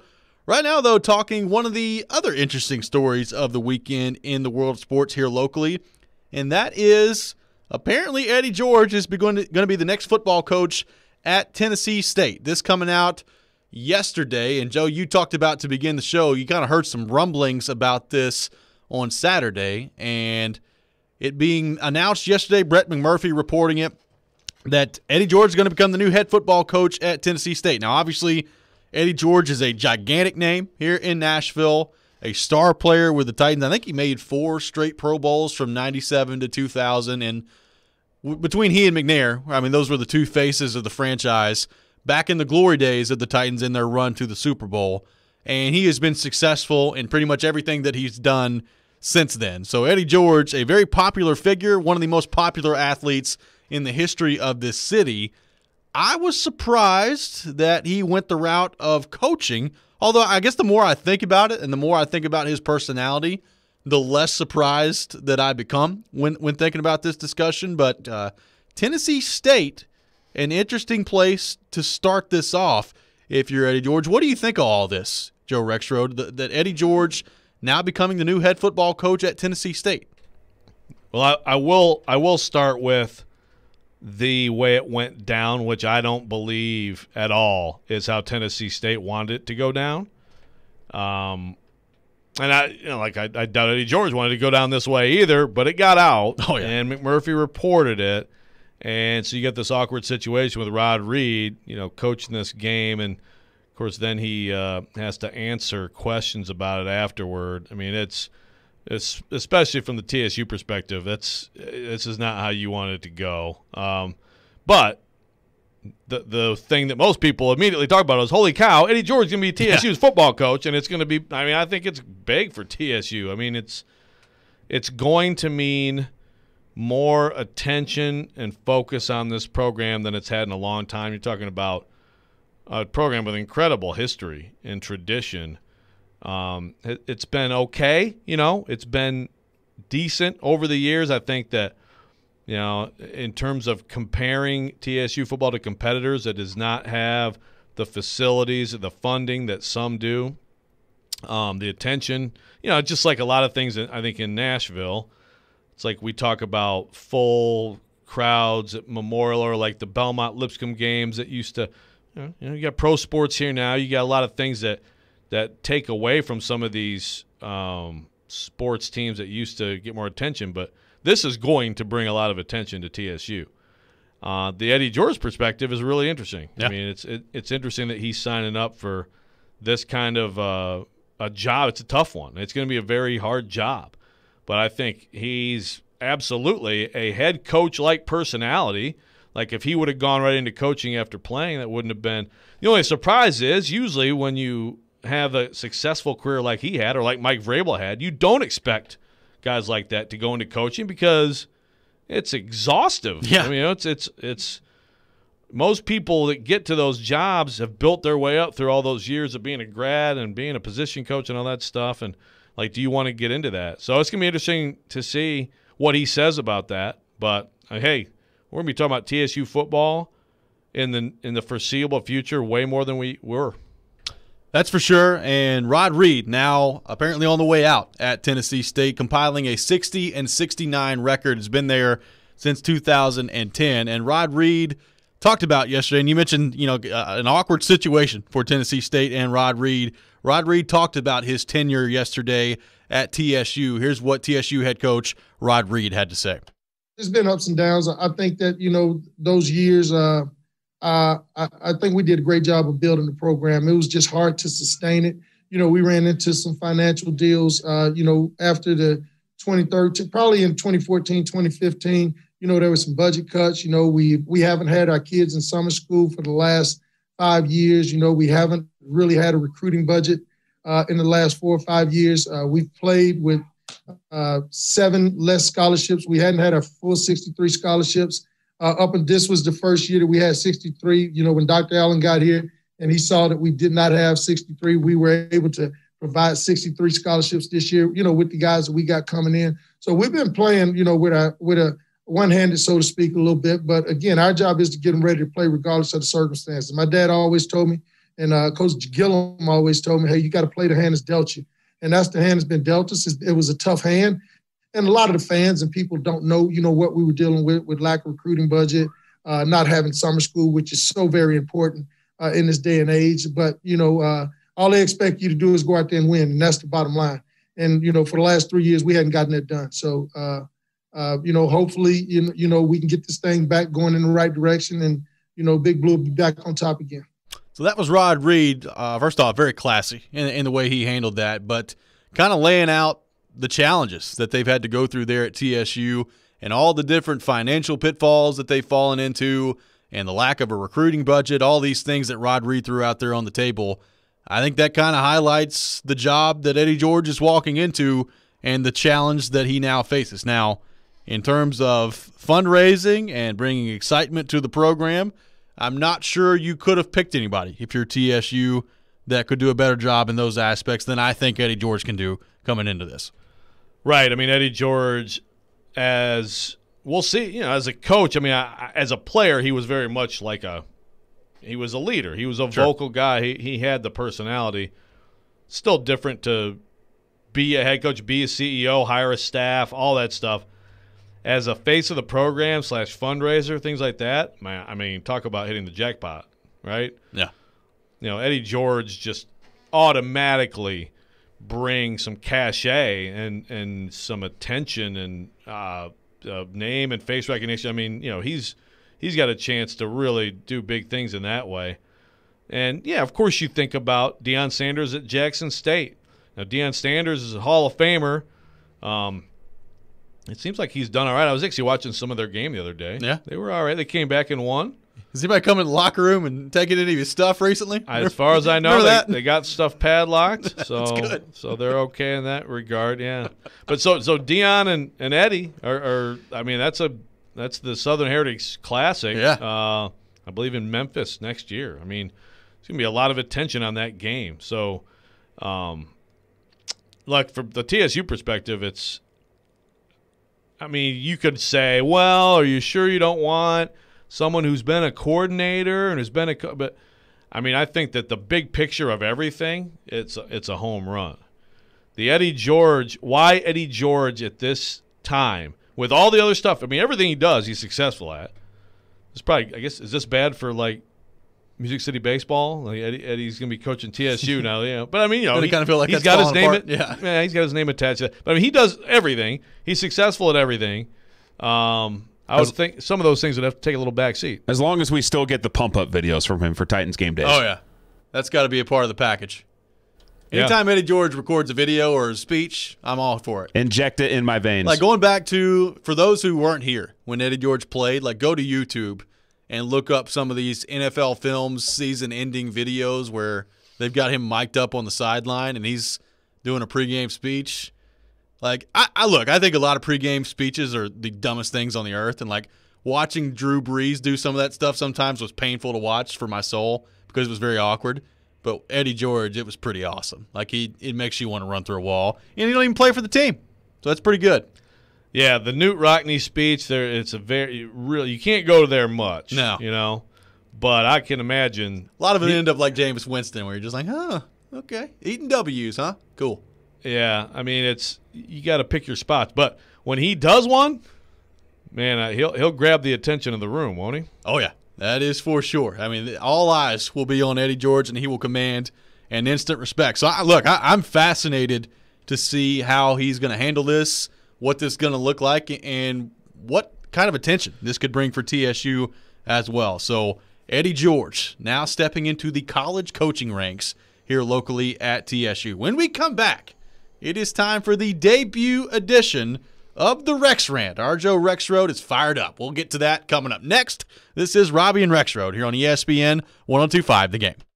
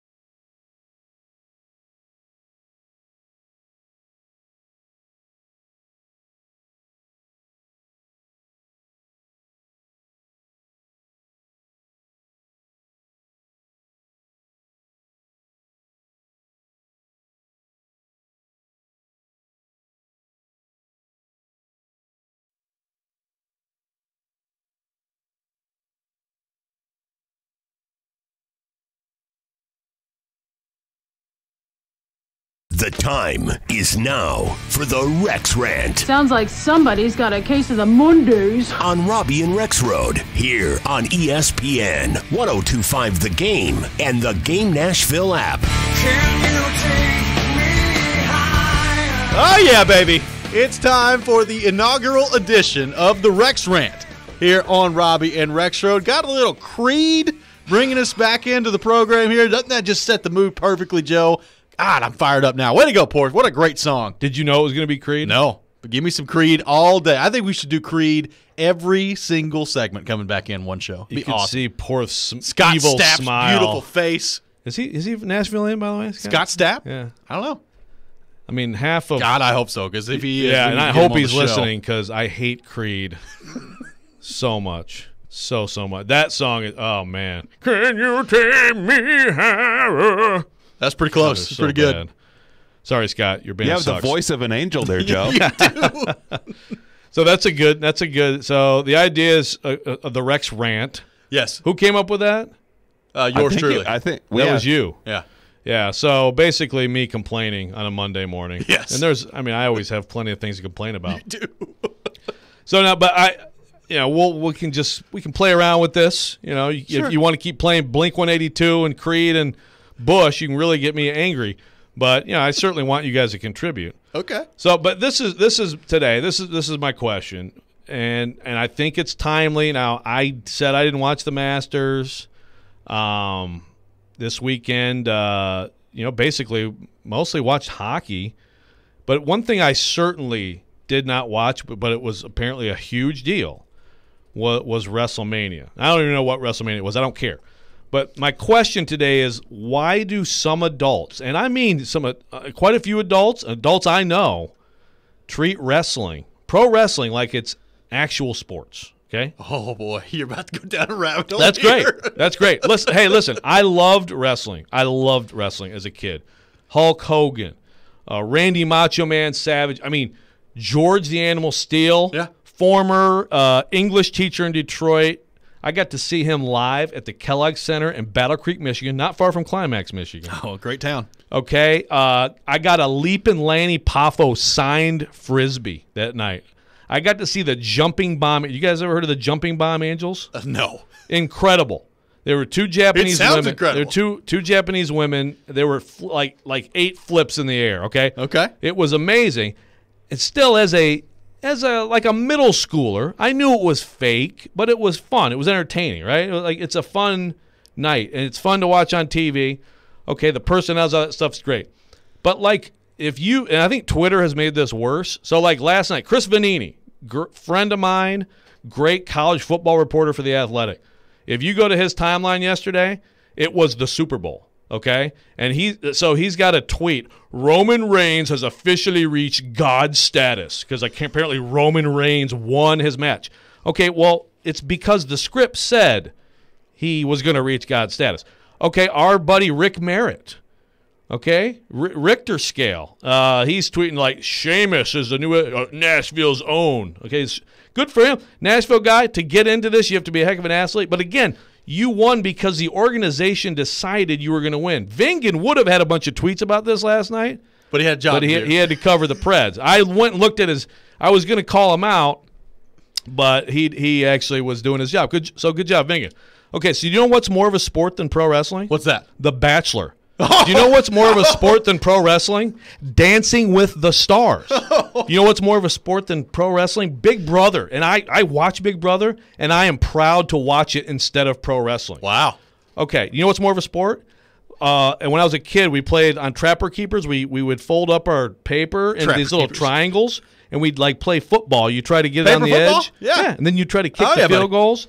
Um, Great sport. Atari Pac-Man, recreational children's badminton, ring around the rosy. Red Rover, Red Rover, send Robby right over is more of a sport than pro wrestling. Wow, you're going to get people fired up. I love that. So look, they're great athletes. They are fantastic Sure. athletes. Again, the jumping bomb angels, man, people should. I I got to look them up on YouTube. They were unbelievable. I'm thinking now of the clip of the guy standing in the crowd. And, I just love what you do with your bodies. It's still real to me. You remember that clip? No. You've got to see it. I've got to find it on YouTube. Fourth, I just sent it to you on YouTube. But there's some great stuff, like the great personalities. It's fun. But let's like we, we I, I think some people could actually get confused still and think that like they're actually competing, like that they, they these aren't pre-scripted decisions about what will happen on the mat. Oh, I can't wait for this phone call. Let's go to our 1025 The Game phone line, driven by WilsonCountyHyundai.com, and bring in our good friend, the Ultimate Predator, that wants to Rexy! weigh in. Uh oh. Ulti, what's going on, my friend? Rexy, I thought we were friends, man. I thought we were friends. We are friends. Are we? Yeah. Listen, I'm, I'm, I'm just going to lay it out straight. Listen, yes. Is it predetermined? Yes. Yes, it's predetermined. But listen, you don't go in watching this knowing who's going to go over. You don't know. Now, people can predict and people can say, oh, I can see where the storyline's going. But we don't go into this as wrestling fans thinking Sheamus is actually out there beating the crap out of the guy next to him in the in the ring, which in this case was uh, Matt Riddle. Um, we don't. None of us really go into it thinking they're, it's a competition. It's fun. It's good to let go of reality for a little bit and and just enjoy the show. You don't go into the uh, uh, into the into the Marvel Cinematic Universe and think Chris Evans is really throwing a shield at Tobey Maguire and, and Captain America. It's it's it's fantasy. It's it's it's an escapism, and it's with uh, men and women who sometimes quite literally can put their their careers, their lives on the line, and can get seriously injured for our enjoyment.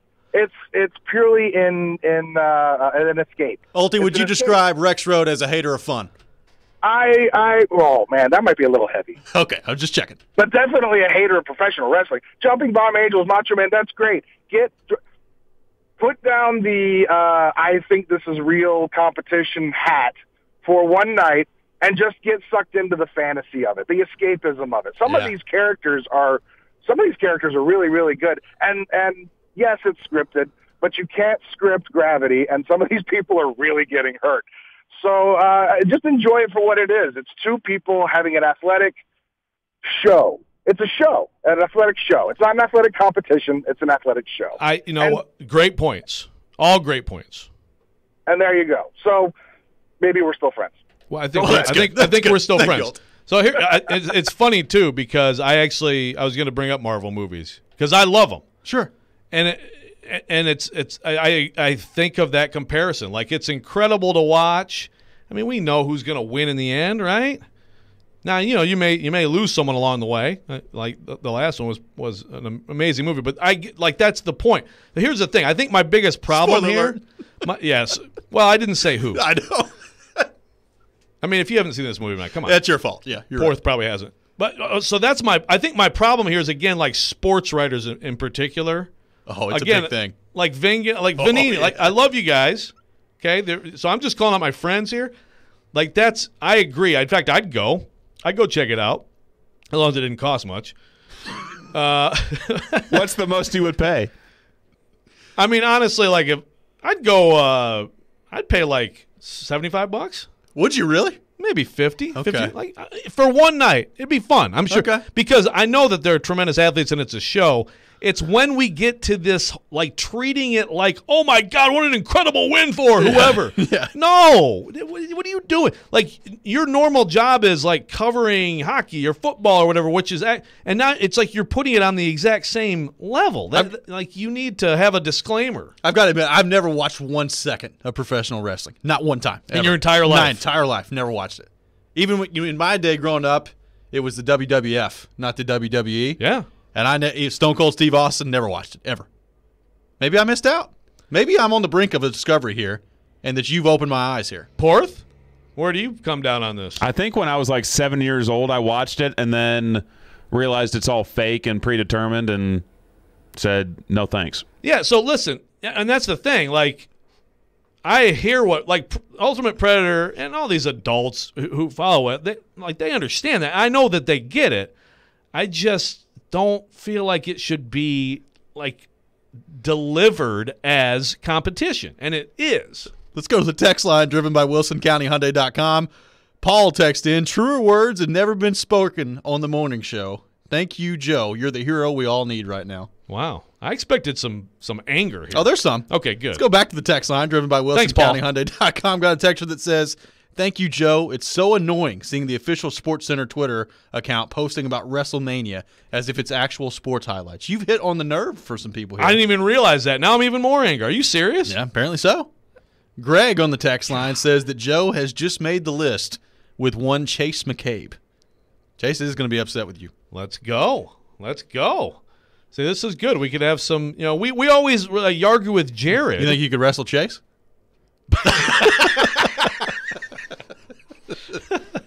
Set you up for that. well, I mean, if it if it were pro wrestling, then whoever Yeah. the script writer is will just maybe I'll get smoked.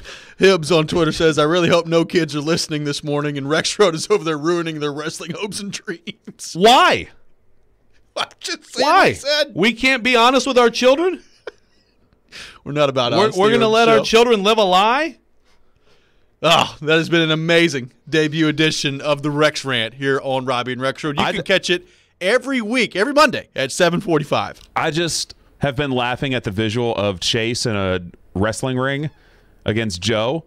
Like if Chase, Chase going to wear one of those onesies that, quiet. uh, yeah. if he climbed up on the rope to, to try to come off the top rope, would he like fall on his face? Well, he'd come off. Yeah, it wouldn't be as planned. I, I don't think he would land on Joe. I think he'd the land on his dismount face. would not go well. I can wear a unitar, right? yes, you can. Please put that visual in my head. What an edition of the Rex Rant here on Robin Rexrode, begun by Creed, and Rexrode finished it off with his assault against professional wrestling. When we come back, Corey Curtis from News 2 will join us. We'll get into the Nashville Predators with him. All that coming up next. This is Robby and Rexrode, live from the Wholesaling Studios, powered by RumbleOn.com. You're on ESPN 1025, the game.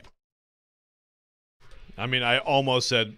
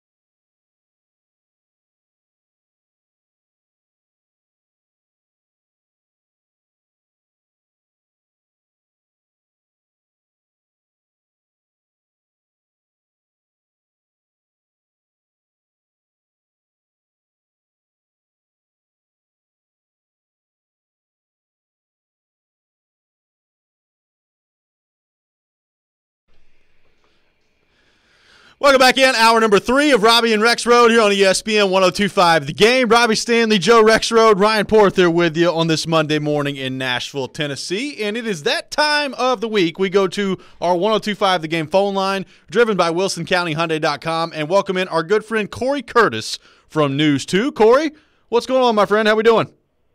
Oh, just counting down the minutes till we can stop asking if David Poile is going to make a trade. Well, let me ask you right now: Is David Poile going to make a trade today? I, you know, if he does, I think it's really minor. Um, I, I don't, I don't think he's, you, you know, he's been very loyal to a lot of his players in the past, and you know, he stuck by these guys a little bit longer than most of us would have, and said he wanted to see more. He wanted to see more, and and they rewarded him, and I can't see him messing with them because we're beyond the point of saying they're hot right now. They're not hot right now. This is just the way they play now. Their goalie's red hot, but as a team, this is the way they play now. This is who they are, and so I don't see um, I don't see how you can you can with a straight face tinker with it. Hmm. I think with a straight face, I say, well, it's been a heck of a a run here. I, I hear what you're saying. You're right. This is not just. I mean, they've overcome a lot of stuff. They're playing. This is how they play.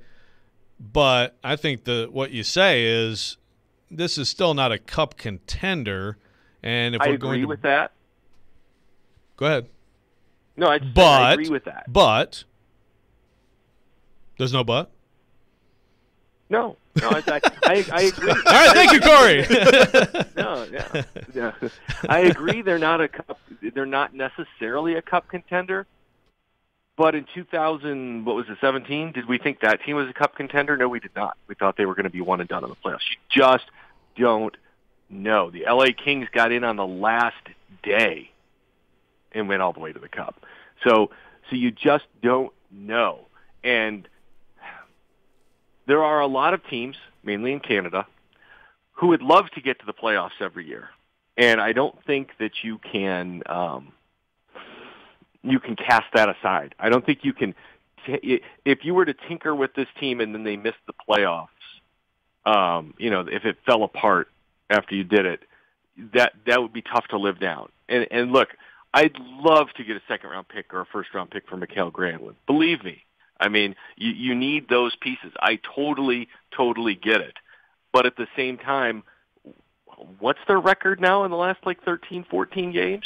12 and 3. I, I, yeah, I, I, I can't look at these guys and saying, "Yep, we're going to break you up.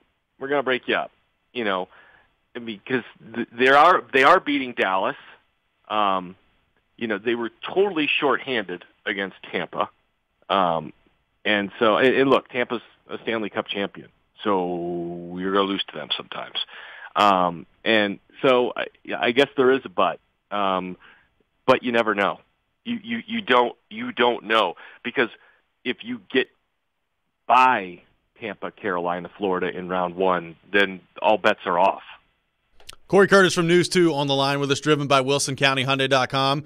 So, so Corey, to that point, I mean, this is almost like two separate seasons for the Predators Oh, in the way that Lord, this has yes. transpired. How have they been able to do this, and how much credit do you personally give the young guys who have come in, not only for the way that they've played, but maybe for the energy that they've instilled with this group as well? Well, I, Robby, that that's a huge question. It's a huge question because I know, you know, I've I've asked some of the guys, you know, how much credit does John Hynes deserve? Because we're giving all the credit to these young guys for injecting energy, uh, and I think it's a combination of those things. Because I think, you know, we had a lot of guys here who got really comfortable with with the way things were, and those guys came in and completely sold out. And I and I forgot who reported it, so I, I apologize because I'm shorting them. The conversation that he had with Luke Kunin when he was coming back from injury, Yep. and basically told him, "You're going to play this way, or you're not going to play because I've got other guys who are willing to do it." And has Luke Kunin been a completely different player since he's come back? Oh yeah, he he he has, and largely because the whole team's been hurt. Each one of these guys who comes back from injury is kind of a different player. Ryan Johansen has even been a little bit different since he's come back, and I think these guys see the writing on the wall that there are guys waiting in the wings to play instead of them, and I and I and I think that competitive juice has has elevated some of these guys. So I will say their their effort level on the ice maybe has been contagious, but I think the competition and fear that it originally instilled has now created more energy and more what did uh, John call it uh, a, a spirit for the game um, because they look like the team. I mean, I've been here since 2003, um, and, and they look like they they look like a Barry Trotz team now. They look like a team that comes out and plays hard every night. Yeah, no, no, you're right. I mean, it's been look, I, the guys in the locker room, you know, deserve a ton of credit.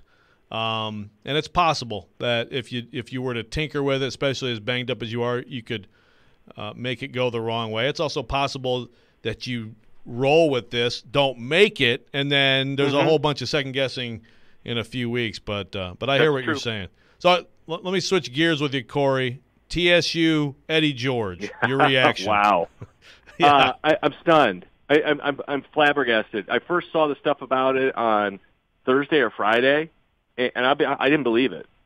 I didn't believe it, and you know I've had a relatively close relationship with Eddie for a long time, and I and I shot him some messages, and I, and I haven't heard back from him.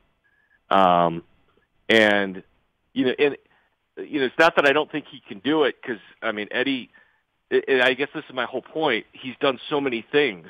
He has so many interests, and being a college coach is so life consuming.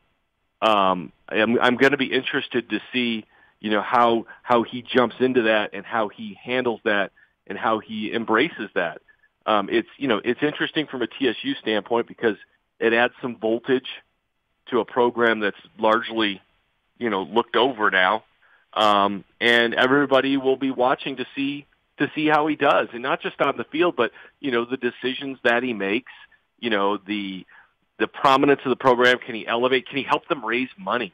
You know, Rod Reed talked about it yesterday that the financials are are a huge burden, you know, for them.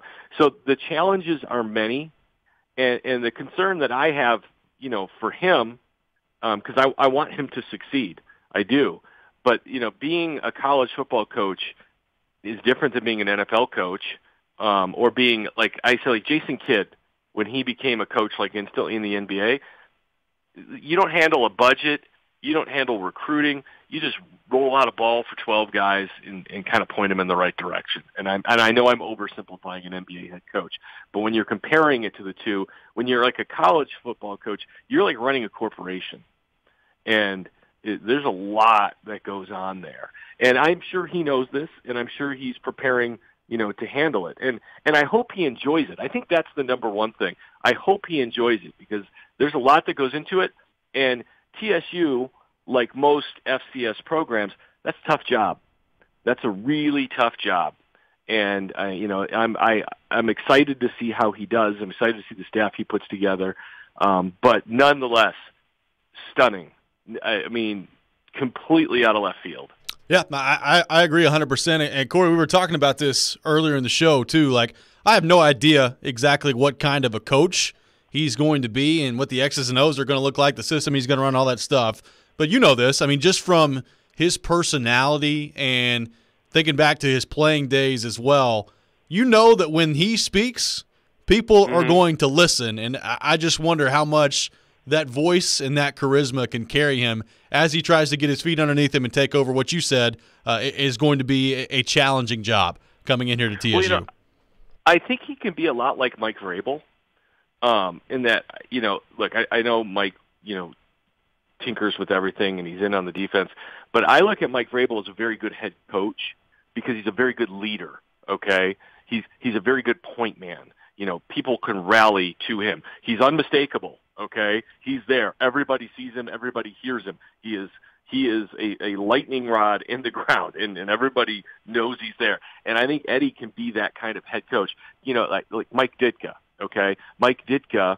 You know, was a galvanizing, centering force. All right, and I think Eddie can be that kind of guy where he is the leader of the group, and if he hires good assistants, you know, he can lead them and and have the the game and played in his vision. Um, and again, that's not to say that he can't coach, because we don't know. We haven't seen him coach, but I uh, his his personality. I think the strength is towards leadership. Uh, Lou Holtz used to always talk about cars in the ditch and who's going to get out and push. He he can be a guy who can get everybody out of the car pushing together, um, and then it's it's putting the rest of it together. So just name a defensive coordinator and tell us why, and that's all you got to do. you mean to have an actual good reason? Yeah, I like John. I like John Robinson's reason. Well, continuity's a good thing. yeah. Not necessarily. He did a great job. He's a good coach. He's you know he had some things go against him last year. Ah, you know, continuity's a good idea. and then Corey looks like the stash is going to be in the mix as well. Jeff Fisher, I guess, as a consultant Yeah. on this stat on this stat that You fires know, me up. Look, I, Uh, you- I, look, whether whether it fires you up or not, it's always good to surround yourself with people who've been there and people who know. And it doesn't sound like Jeff's going to have an overwhelming position, but like you know, he'll be like the Godfather. And look, there's a reason that team NFL head coaches hire veteran coaches to be their assistant head coach quite often, and they, they need an ear to, to lean on. I mean, like, do you, don't you think that Arthur Smith is going to lean on Dean Pees? Oh yeah, who's been coaching for a long, long time.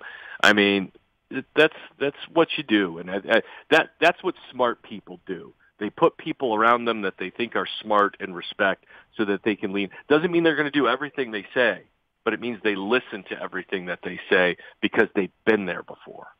Corey Curtis from News 2 has been our guest here on Robby and Rexrode. Corey, great stuff as always, my friend. Appreciate you taking time to join us. All right, thank you very much. Oh, by the way, I want to give a shout out to Rod Reed. It Yes. was a tough press conference yesterday. That guy has dedicated his life to that school, and uh, you know, I, I want to say he deserves better. Uh, at the end of the day, we all have to win or lose. Okay, I understand that, but there's a good way and a bad way to go out, and I just for him and what he has dedicated to that university, I would have liked a more graceful honorary exit. Agreed, and I Good thought call. he was about as classy as you could be yesterday handling that as well. So a great tough point by you. Absolutely. Corey All right, Curtis joins Thanks, us Corey. every week here at 8 o'clock here on Robby and Rexrode. When we come back, we will get back into the Nashville Predators, look back at the weekend that was for the Preds. What did we learn about this team? What does it mean as they move forward here now with trade deadline day in the NHL? All that coming up next. This is Robby and Rexrode here on ESPN 1025 The Game.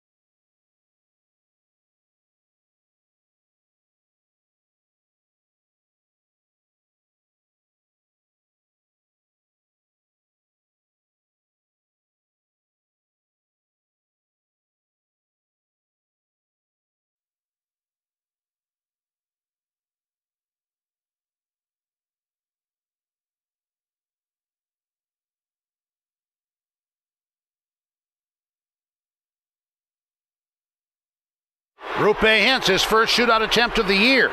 Moves in through the left circle, and the save made by Saros, and the Predators win it. It goes down as a 3-2 victory as the Predators embrace goaltender Juuse Saros after this win over the Dallas Stars. Yeah, Ryan. Obviously, the, results on the ice speak for themselves, but just from your vantage point, how much different is the vibe with this group now than it was, you know, three and a half, four weeks ago? We're vibing, Robby. Nashville Predators are vibing, baby. Winners of 12 out of their last 15. They win last night against the Dallas Stars 3 to 2 in the shootout as we heard there from the illustrious Ryan Johansen. Described it beautifully. We're vibing right now. We're vibing, Robby. Thank you. Robby and Ryan Yeah. vibing. Vibing. Robby and Ryan. What do we think that means? Vibing pretty well, huh? Vibing. I don't know what I mean. Man, I know what it means, but like, what do you think that means for the future? They're just going to continue to vibe here? I don't know. Is it, can you break up the vibe? I think you can. Maybe you do if you trade someone today. We're vibing, Robby. Oh man, gotta love that guy. Another goal in the shootout last night for Ryan Johansen as well. You were there to witness it in person.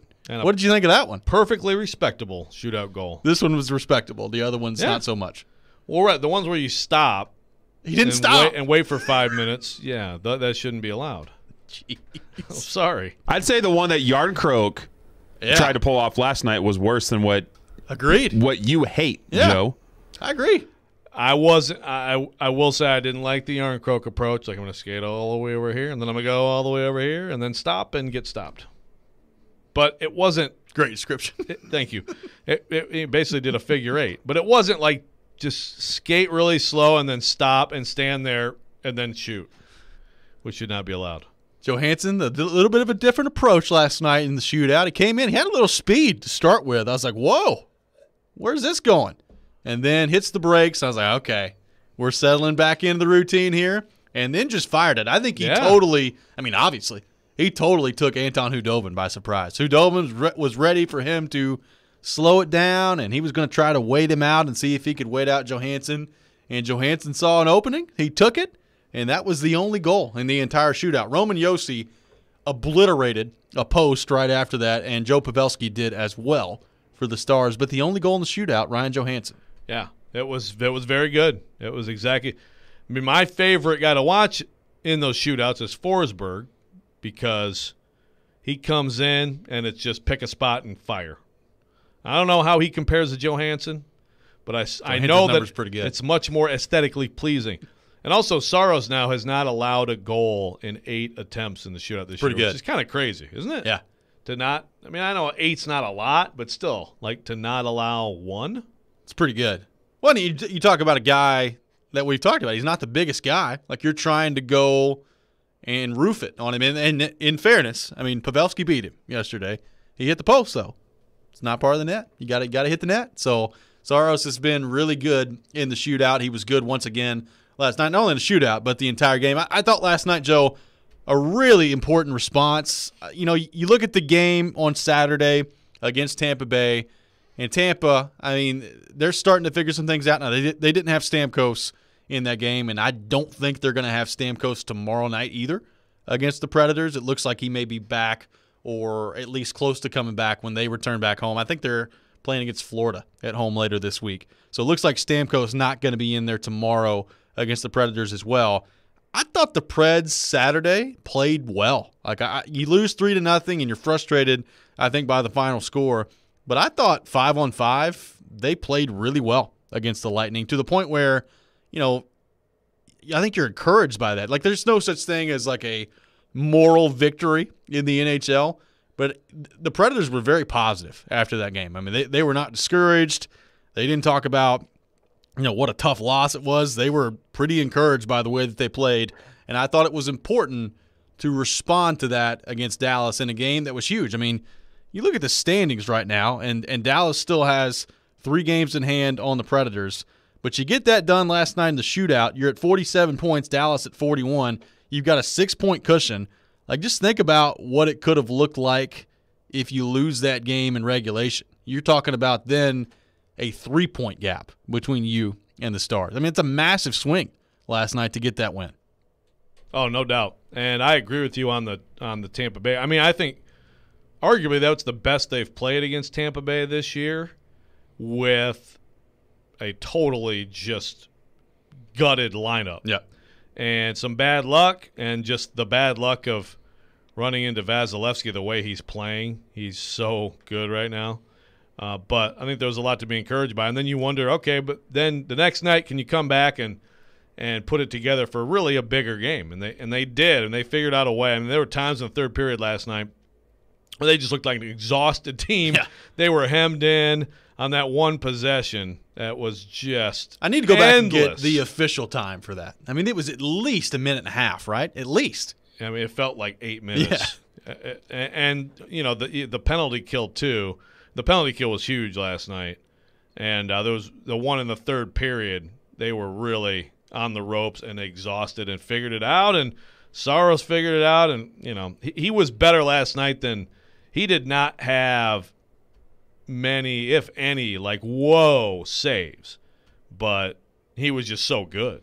And I think Hal Gill made the point in the postgame show, like there are there are some plays, some saves he makes because of his anticipation that look routine, but actually they're really not.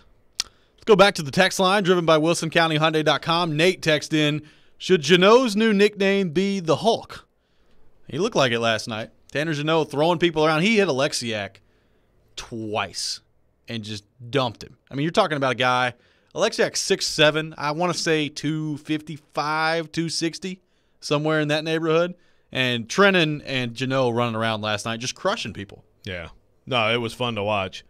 And it's amazing when you you know, when you bring that up about Oleksiak, that also he by the way he skated through the entire team he at did. one point. It's a great That was actually that actually might have been Trenin right there. It was Trenin, Yeah, yeah. who uh, need needed to pick him up. But no, nah, I mean that I mean that fourth line is and again they don't have Olivier right now, but those guys are they they set a tone really I think for this team, and they set a tone that hasn't been settable in Yeah. recent years. They haven't, you know. You know, I mean, the Preds we know well. Like you bring back a Cody McLeod because just to have a guy like that, but Right.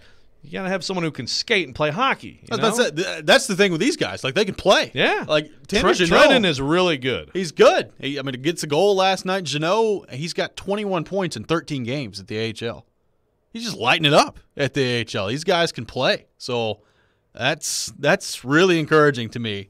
If you're like, I'll be honest with you, like Tanner Jeannot is not a guy that I've thought about as being a part of the Predators' future here. I mean, he is, and stock is rising this year. And it's one game last night at the NHL level. I realize that. But you're talking about a guy lighting it, lighting it up at the AHL level, proving that he can come in and give you some valuable minutes. I mean, what did that fourth line end up with? 12 minutes last night, roughly, in, Yeah. in the ballpark there? Like, obviously, John Hynes trusts that line right now. And I, I thought a really impressive response by the Predators. And as I said, just to get those points and to con- continue to extend that cushion from you and the Stars is crucial. And they've got, you know, next week a, a big stretch coming up too against Chicago where you're going to play them three times in a row. I mean, those those are massive games coming up for the Predators. So a, a big response by them yesterday. And now the question becomes, what does it mean in terms of the decisions that David Poile and the Predators are going to have to make today? The NHL trading deadline at 2 o'clock. What do you think the Predators should do? We'll get back into that coming up next. This is Robbie and Rex Road here on ESPN 1025 The Game.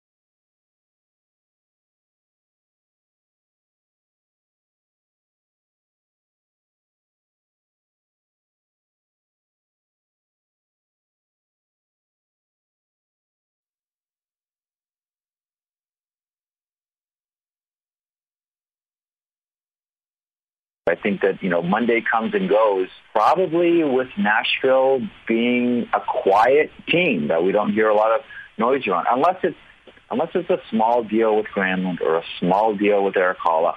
I don't necessarily see Nashville as making the big splash. Now, this can all change if someone calls David Poile and knocks his socks off for a deal for Mattias Ekholm and Filip Forsberg or Ryan Ellis or whomever. But I don't know that I see that happening in in a flat cap universe right now.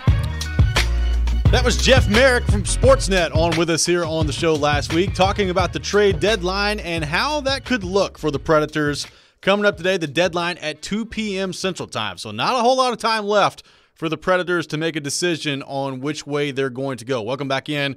Robby and Rexrode, you're on ESPN 1025 The Game. Speaking of the Predators, make sure you're tuning in this hour for your cue to call for a chance to win a pair of tickets to see the Predators take on the Tampa Bay Lightning tomorrow at Bridgestone Arena. We'll have that cue to call coming up a little bit later here in this hour, so make sure you're tuned in for that. Also, do want to pass along some breaking news this coming uh, here locally. A shooting suspect is reportedly on foot in the Stonebridge subdivision area of Leeville Pike in Lebanon. So uh, that's according to the police. All residents in the area should stay locked in their homes until further notice. So if you are in that area or you know of people in that area, uh, make sure you pass that along and make sure uh, you stay locked in your homes there until the police uh, get this situation resolved. So wanted to pass that along.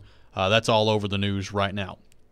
So Joe, looking ahead at the deadline coming up today, the question that I have is what should the Predators do at today's deadline? They've complicated things. It was going in a clear path that we've talked a lot about over the course of the last month. And then you roll off 12 out of 15 wins. I mean, that's going to make you feel really good if you're the Nashville Predators about the, tra- the trajectory that you're on. And that is the subject of today's poll question at 1025 The Game on Twitter. Preds fans, what do you want to see the team do before today's 2 o'clock trade deadline? Do you want to see them sell? Do you want to see them stand pat? Or would you like to see them buy? 267 votes are in. 45% say stand pat. 43% say sell. 12% say they would like to see the Predators buy. So very close between sell and stand pat. And The- a little bit of buy in there as well. The pure trolls Yeah. called the twelve percent. Come on, who are you? A, are you a Blackhawks fan? Are you a Blues fan? I think Come there are some Predators fans that have seen enough. To Corey Curtis's point, they think this is what they are now, and would like to see them go out and buy a piece or two. Not a huge one, but to add some depth. Yeah. Okay. I'm not saying that I, that I agree with it. I'm just saying I think those opinions exist. Yeah, that's true. I've heard that Pred's Facebook is interesting. Yes. Uh, are the- would this be like a Facebook Twitter crossover? Maybe so. Doesn't like Pred's Facebook? Oh, it's a- think, it's a rough Mike, place. Mike Fisher still on the team and Yeah, stuff. there, there are some. That's for sure. quite a crew. Uh, it's very interesting to me that Stan Pat is beating Yeah. Sell. I thought so too.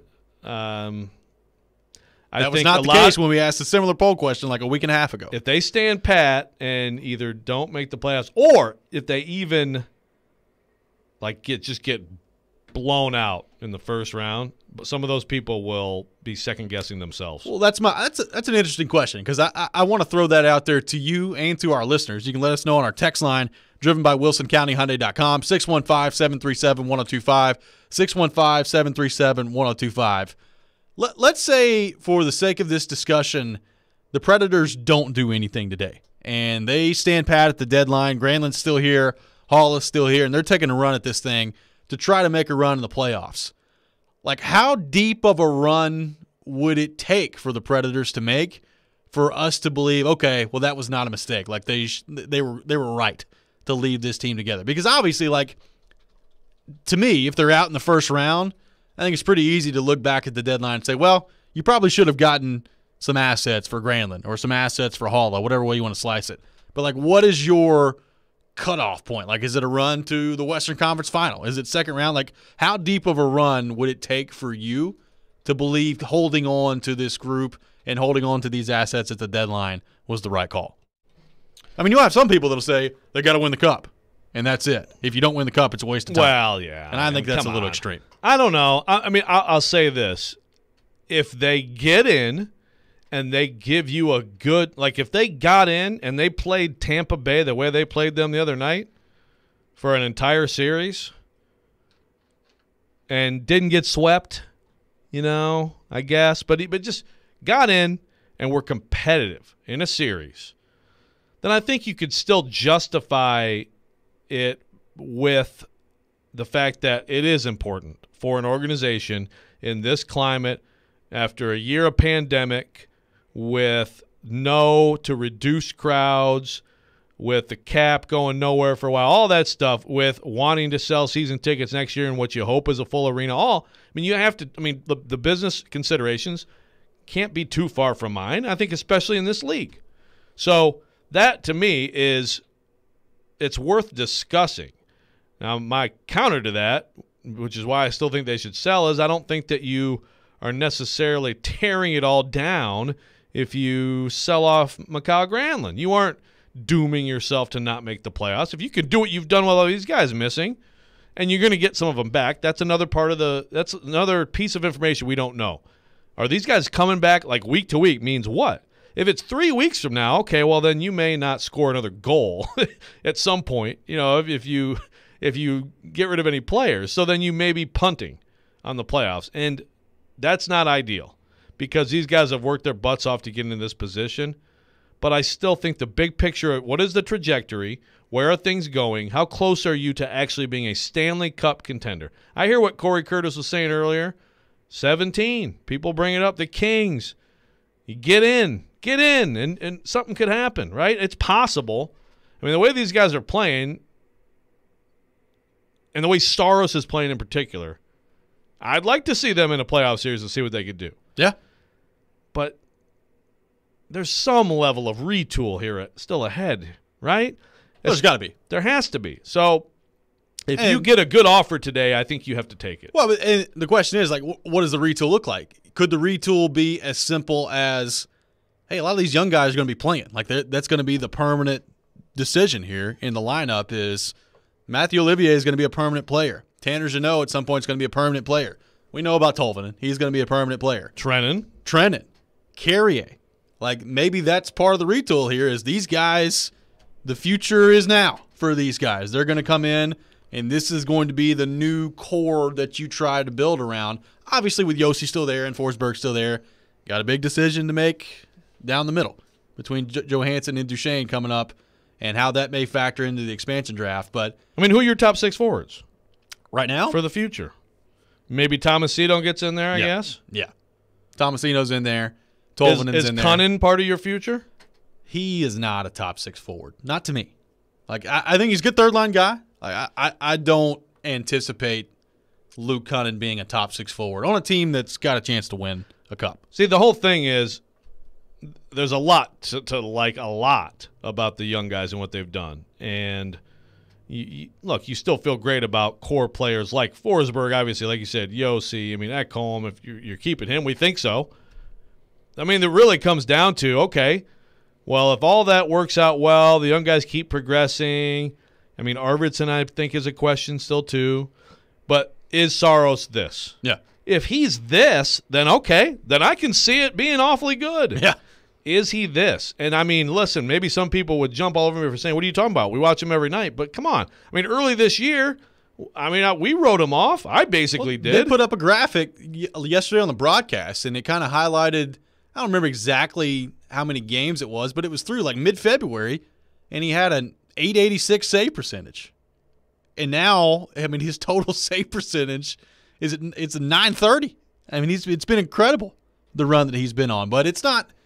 That's the thing. It's not been just strictly that way. Now we're getting to the point now where this is more than than just a hot streak. I think. I think he's playing really well, and I think it's fair to ask: Has he figured something out in his game that has allowed him to be more consistent? I, I think that's that's a fair question, and if if he has, that's a great sign for the Predators moving forward. I just, I'm still not yet willing to go there.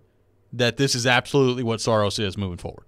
Right. I mean, and there's another reason why it would be potentially beneficial beyond the instant gratification of making the playoffs. Yeah. It'd be good to be able to see him in a playoff series It would. against a really good team.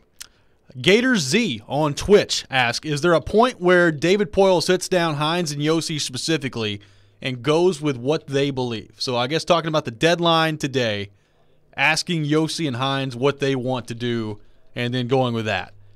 My guess would be no. Like probably more so with Hynes. He probably factors in that decision.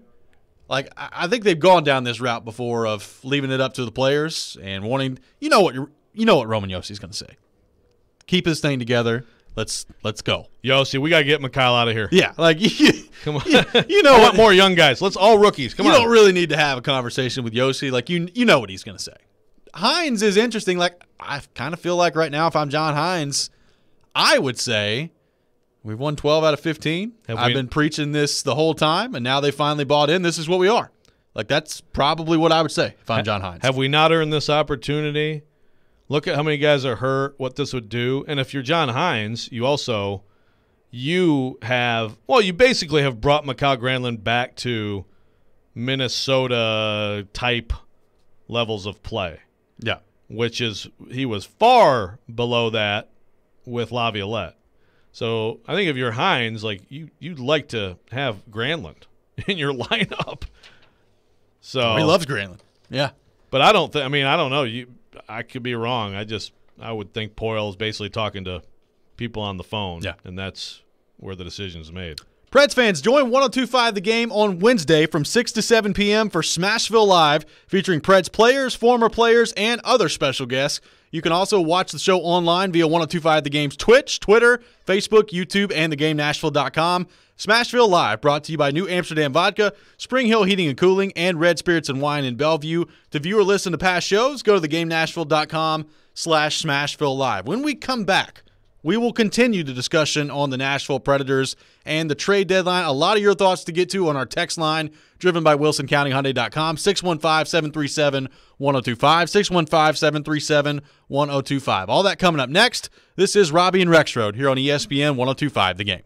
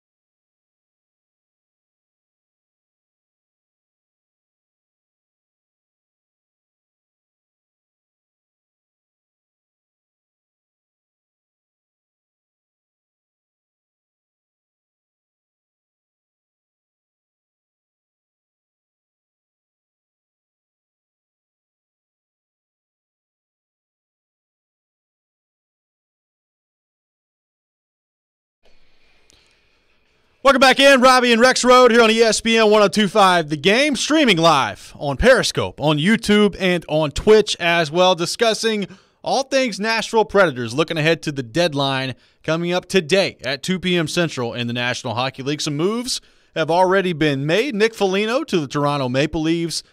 Columbus gets back a first round pick. As the uh, the game was getting ready to take place on Saturday against Tampa Bay, Savard, David Savard, traded to the Tampa Bay Lightning. First round pick back for Columbus in that one as well. Taylor Hall on the move last night to the Boston Bruins. Jeff Carter on the move from LA to the Pittsburgh Penguins. So some bigger names have been moved around out there, and maybe maybe some more to come today. We talked earlier in the show about Ryan Getzlaff. What does his future look like with the Anaheim Ducks? So going to be a very interesting next few hours here at the NHL trade deadline, and of course we'll keep you updated all day long here on ESPN 1025 The Game. Joe, let's go to the text line driven by WilsonCountyHyundai.com. Josh texts in and says, "So Joe, if they stand pat and win in the first round and lose in five in the second round, are you satisfied with that?" I mean, I, I well, look, uh, yeah. I mean, I, if they won a playoff series, they get in the playoffs, win a playoff series. Given how this season has gone, I mean, okay. The question: Are you satisfied with that? I still would say it's too bad they missed out on an opportunity to try to build assets, which for many years they were letting go the other way in an attempt to go for it. So, short of a cup, I would say it's still like not ideal to go through this day and not build some assets back because this is, I think, a time when they should be thinking about that. Um, and you know, we don't, we're not going to get prices. You know, we're, I, I don't think we will. Probably not. We're not gonna we're not gonna find out exactly what was offered when and by who. You know, and so again, it's not just simple door A or door B. Sell or don't. I mean, it's what are you being offered back in return? Also, how important is it to make the playoffs for the organization? Sometimes that stuff comes into play. You, I mean, you have to take, you know, it's not just the performance on the ice or on the court or field. Sometimes business is important, especially in a year like this. And then also, what do you know about the injury situation right now? If you're going to gut this team that has worked to, to get into this position, knowing that a bunch of those key guys are two, three weeks out, I think they'd have a reason to be angry with you. I still say if you had a good offer, you still do it, but there's just so many factors involved in this. And that is a very long answer to your question. Ryan Porth, let me ask you this question because, I, look, I, I think it's easy to say win a Stanley Cup. That'll that'll make it worth it to hold on to the assets. But realistically, looking at this, if if today comes and goes and, and no move is made by the Predators at the deadline, or at least no significant move, like I'm not talking a minor league trade or anything like that, no significant move to this roster. What sort of a run will it take for the Predators to convince you that it was the right call to stand pat and do nothing at the deadline? Well, let me kind of reverse it. If they do nothing and they make the playoffs, that's a failure of what didn't happen at today's deadline if they don't make any moves. I mean, I think it would be hard to sit here and say that if they don't make any moves before 2 p.m., then the expectation is they have to go out and beat Tampa or Carolina in the first round. I think that's unfair for that to become the adjusted expectation just because you didn't make a trade before 2 p.m. Um, you know, Joe brought up the the economics of it. You get a, a, a postseason appearance this year. It it helps you. Uh, it helps any NHL team that has been affected by COVID to be able to get playoff revenue. Sure. Um, I mean, they would probably have to win in the first round for them to come away from the trade deadline saying it was the right move to not trade anybody. I mean, I, I still sit here and say that if if I, I mean I agree with y'all. If Granlund is being o- or if Poile is being offered a first or second for for Granlund, then you have to take it. You just have to. I, I guess the flip side to that is what if it's Colorado offering you that second round pick? Then it's going to be in like you know the 60s. Yeah. What good does that do you? I mean, it's going to be a late second round pick when everybody's going to say, "Oh, well, it's essentially a third round pick then." So you, you, I don't know if that's a reason to say no, but the value of that second round pick isn't going to be as good if it's Colorado making that call as it is if it's say Florida. Agreed. No, I, think that's a great point. I think you've got to factor that in if you're David Poile too. And it's also like trying to nail down what the value is for a Granlund. Like Nick Foligno goes, he gets a first round pick back from Toronto. Now Toronto came out at this point. It's almost been a month since Kyle Dubas came out and said, "Yeah, we don't mind giving up first round pick for an asset if we feel like they can come in and help, and, and we want an asset that's going to be a free agent, and we don't have to worry about protecting him in the expansion draft." Like he was very open about what the plan was. So I, I'm not really surprised that they've given up a first round pick to go get Nick Foligno. What I wonder is, okay, what does that mean for Granlund's value? Taylor Hall goes to Buffalo, and he's packaged with, or from Buffalo to Boston, packaged with Curtis Lazar, and he fetches a second round pick and Anders Bjork in that return, which is it's not a whole lot. Like it's not a great return for Buffalo when it comes to trading a guy like Taylor Hall. So trying to figure out exactly what the value would be right now for Granlund, I think is difficult.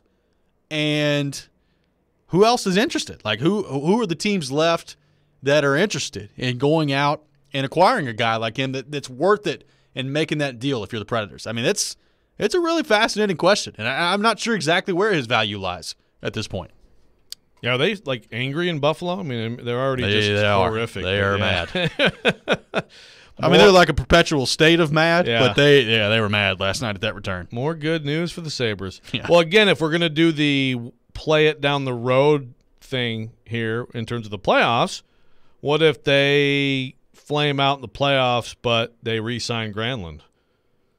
And they work it out to where, you know, one of the other centers is ex- expansion drafted away. Yeah.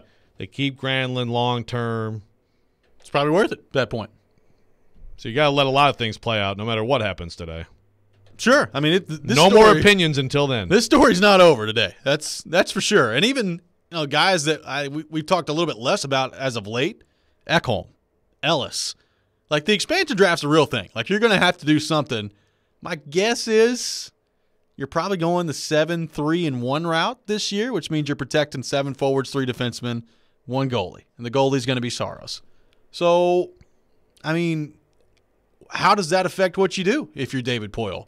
When you know you've got Fabbro, who I get it, there's a lot of, I think, Fabbro detractors at the moment. He's not been great this year, but he's still, he's 22.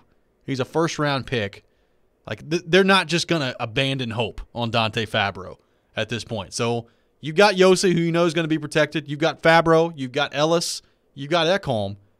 Unless you're going the 4 4 1 route or like you did last time, like, I- you've got a decision to make on that front. So I'm interested to see how that factors into this discussion as well. Now, I don't know if that necessarily happens today. Maybe a trade like that happens right near the expansion draft, but these are these are things you can't ignore if you're David Poile, and I'm he's not ignoring them. Like this is all factoring into the decision making process today. If they were to leave Ellis unprotected, would he get scooped right up? Yeah. Yeah. I think so. I mean his his contract, you worry about it, I think, from an injury standpoint. But it's not- it's not ridiculous. that bad. I mean, it's six point two five million. And it's it's not cheap, but it's not that bad. So I, I think if they left him exposed, yeah. So who would they leave exposed? On defense? Yeah. Oh, I don't know. I mean, is Fabbro definitely going to get scooped up? Yeah. I think any of those four you leave exposed, Seattle's taking them. But I mean, me. you, but I mean, you can make a trade with somebody before Sure, the yeah, expansion yeah, yeah, draft. Sure. Yeah. I Which I think, think- I think some fans view it as today is the then day this to is it. Yeah. right. Yeah, I mean, you can make a trade before the expansion draft. Yeah, with a big with a big piece like that for sure, and that may well happen. This is this is boiled down now to the expiring contract conversation. Yes. right? Unless something happens Until- today. until I Ekholm mean, goes today. Mattias Ekholm's still on the big board for NHL.com. He's he's a defenseman to watch today at the deadline. I'm not saying it can't happen. I, I think I have moved to the point where, you know, three weeks ago, if you'd told me Mattias Ekholm would be traded at the deadline, I wouldn't have been all that surprised. I'd be surprised now. Yeah. So I would too, but yeah. Crazier things have We've happened. been surprised before. That's right. When we, we, come back, we all had Eddie George as TSU's head coach last week. That's right. When we come back, we'll continue the conversation on the Nashville Predators. Darren McFarland, host of Darren Donick and Chase, also handles the Predators pre and post game duties for the Nashville Predators radio network. He'll join us next. This is Robby and Rexrode live from the Wholesaling Studios, powered by RumbleOn.com. Here on ESPN 1025 The Game.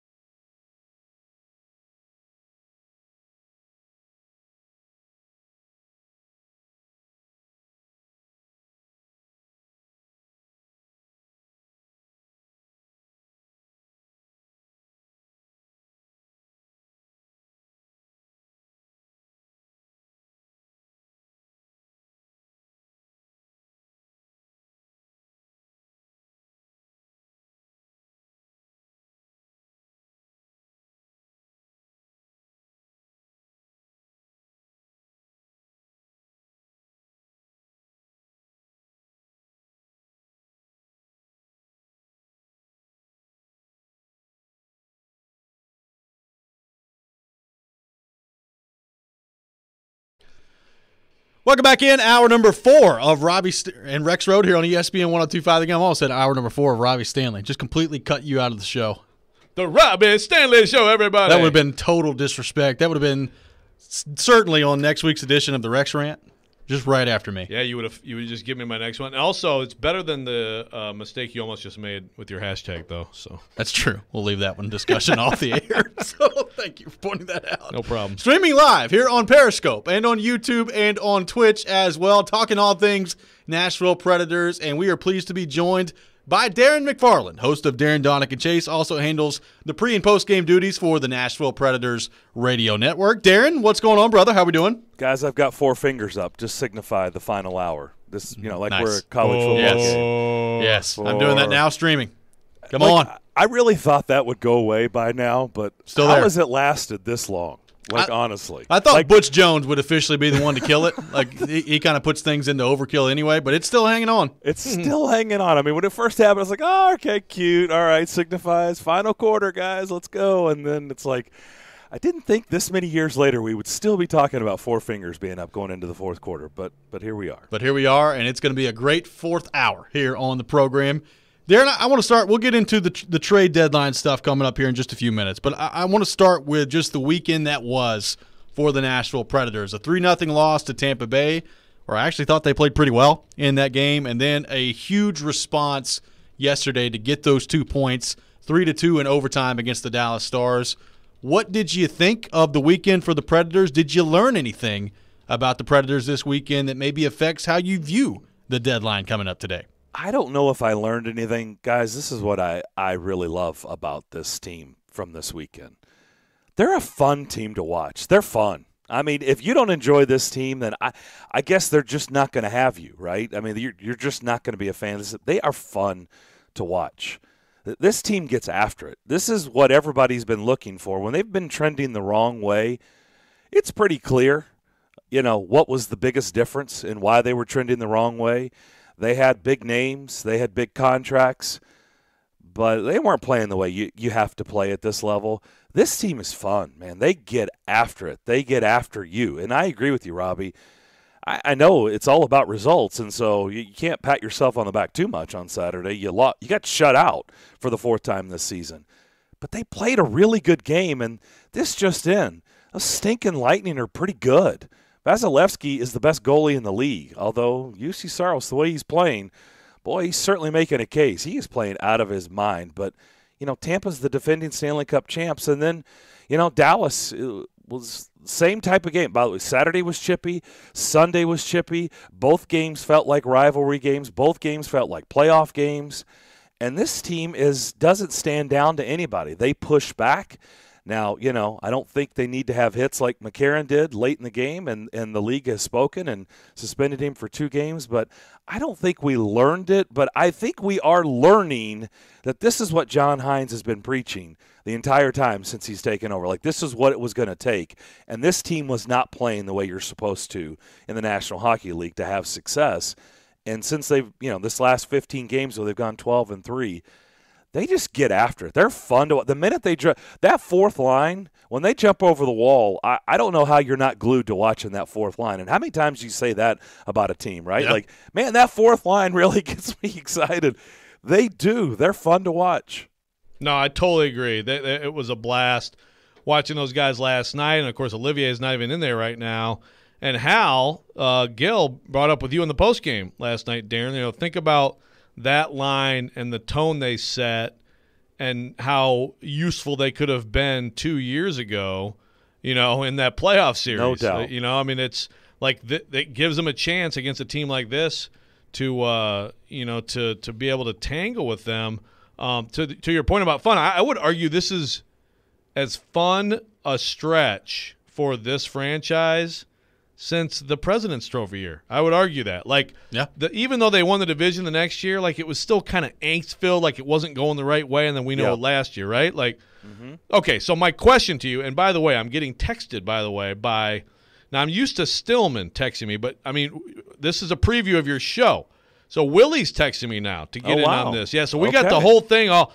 So here, let me let me just throw this, This question great. at you. Is Hey, why don't we just combine the shows? We'll just go live. Let's do it. Let's just combine the shows and we'll just do six a six or a five man show. Boy, I just my math, Kentucky math. We'll just do a five man show till two o'clock. Let's do it. The DDC plus RR. That's right. It's a lot of letters. As long as we can keep Jared out. Uh, that sounds like a very official organization, by the way. The DDC plus RR. Yes, I mean, that's you don't want them on your front porch. No, you don't. All right, so let me ask you this: Is Granlund the glue holding everything together, the most important forward on a team, and is there any way the Preds make the playoffs without him? Uh, let me just say this before I answer your question. Tanner Jeannot, we, we ever brought up, uh, he hit everything but the Zamboni last Yes, night. he did. Yes. I mean, it was that was awesome. Like I, my my my walk off line last night was the fourth line had more hits than the Beatles. I mean, they were ever. I mean, they had twelve hits last night. It felt like thirty four hits. And probably Dallas would argue that it was just twelve. But to answer your question, look, Granlund has been spectacular. Uh, Granlund has really been a different player since John Hynes has taken over. Even when they didn't play like this, even when they weren't having the success, Granlund, for whatever reason, it has worked on John Hynes' watch. Is he the glue, Joe? For me, that that's a bit of a stretch. I, I think one, when you're playing like this, you, you're going to have to be doing this as a team. Everybody's going to have to be on the same page. Look, you can tell this is rubbing off. Look, when players go away for any significant amount of time, what do they look like when they come back? They look like their hair's on fire, right? Luke Kunin missed 13 games. What did he do? He came back, boom. Ryan Ellison has missed 20 games. How's he looked these last two games? What you get, what I'm getting at is it looks like this team is having an effect, and when you're sitting there watching, you want to get back and be a part of that, right? And and I think Ryan Ellis was chomping at the bit to get back and be a part of this. I think Luke Kunin was chomping at the bit to be a part of this, and so I don't think it's one person. Uh, you know, Granlund has been great, but he's not the glue. It's not one person. They've all bought in. They're all playing the right way. All the lines, up and down the lineup, and it doesn't matter because, as we've seen, I mean, it's almost like a riddle or a puzzle every pregame, Joe. We're trying to figure out who's in the lineup, who's out, who's suspended, who's on pro, you know, who's been injured, who's in the lineup. Oh, you're oh seven defensemen this game. I mean, it's it's a puzzle to figure this roster out from game to game. But you know what doesn't change? The way they play. Doesn't matter who you you stick in. Tanner Tanner Jeannot is a 23 year old undrafted guy who just played in his second NHL game last night, and we're talking about him. You're not supposed to talk about Tanner Jeannot. But look at the. You think he's bought in? You think he's been sitting there watching this team? He understands what they're doing. So I don't think any one person is the glue. Can they make the playoffs if they trade? If they make trades today? My answer is yes, because the team has bought in. Well, you and Willie will have some good arguments today, then. That's right. So is he? He disagrees. Yeah. Okay. So get ready. Good. That's right. Great. That'll make for a great show. Host of Darren Daunic Chase also handles the Predators pre and post game duties for the Nashville Predators radio network. On the line with us, driven by WilsonCountyHyundai.com. Darren, as you look at this and as you look at the deadline coming up today at two o'clock, I've said it for the last few weeks. I, I still haven't changed. I, I think a soft sell to some degree, whether it's Haula and Granlund, one of the two is still on the table if I'm David Poile. And especially like you see Nick Foligno get a first round pick. I mean, th- that has to get your, your wheels turning if you're David Poile. But I also, the more time that goes by and the more that I watch this team play, if I had to guess, my guess would be that nothing happens today and that they stand pat at the deadline. What is your best guess as to what happens today for the Predators? I would lean with what you're saying, and, and this is what people have to keep in mind because I've already, you know, it's it's great to have the fans back in there. It's it, it's not to the level that we're used to, but hey, it's there's an atmosphere finally. I mean, last night, I mean, they they got chance going in Yeah. the third period. I mean, it was awesome. It started to feel like you know we're back to dare I say normal, you know, kind of close, just better. Like when you hear the chants and people are going crazy trying to will this team to a victory, you have to love it. But but people are, you know, they're coming back into Barrel House, stopping by, saying hello. So you're having the conversations with the fans again. That helps for it to feel normal. And for everybody panicking, saying, "Oh my gosh, you've got to do something! You've got to do something!" And if they don't do anything, like, "Oh my goodness, what does that mean?" Well, what does that mean is they can still make trades when the season is over, and I don't rule that out. I I don't think really think anything's. But when you look at the trade tracker, uh, right now, the Bruins just made their big splash. The Penguins just traded for Jeff Carter. The Islanders have been making moves. The Bruins have been making moves. Toronto certainly has been extremely active.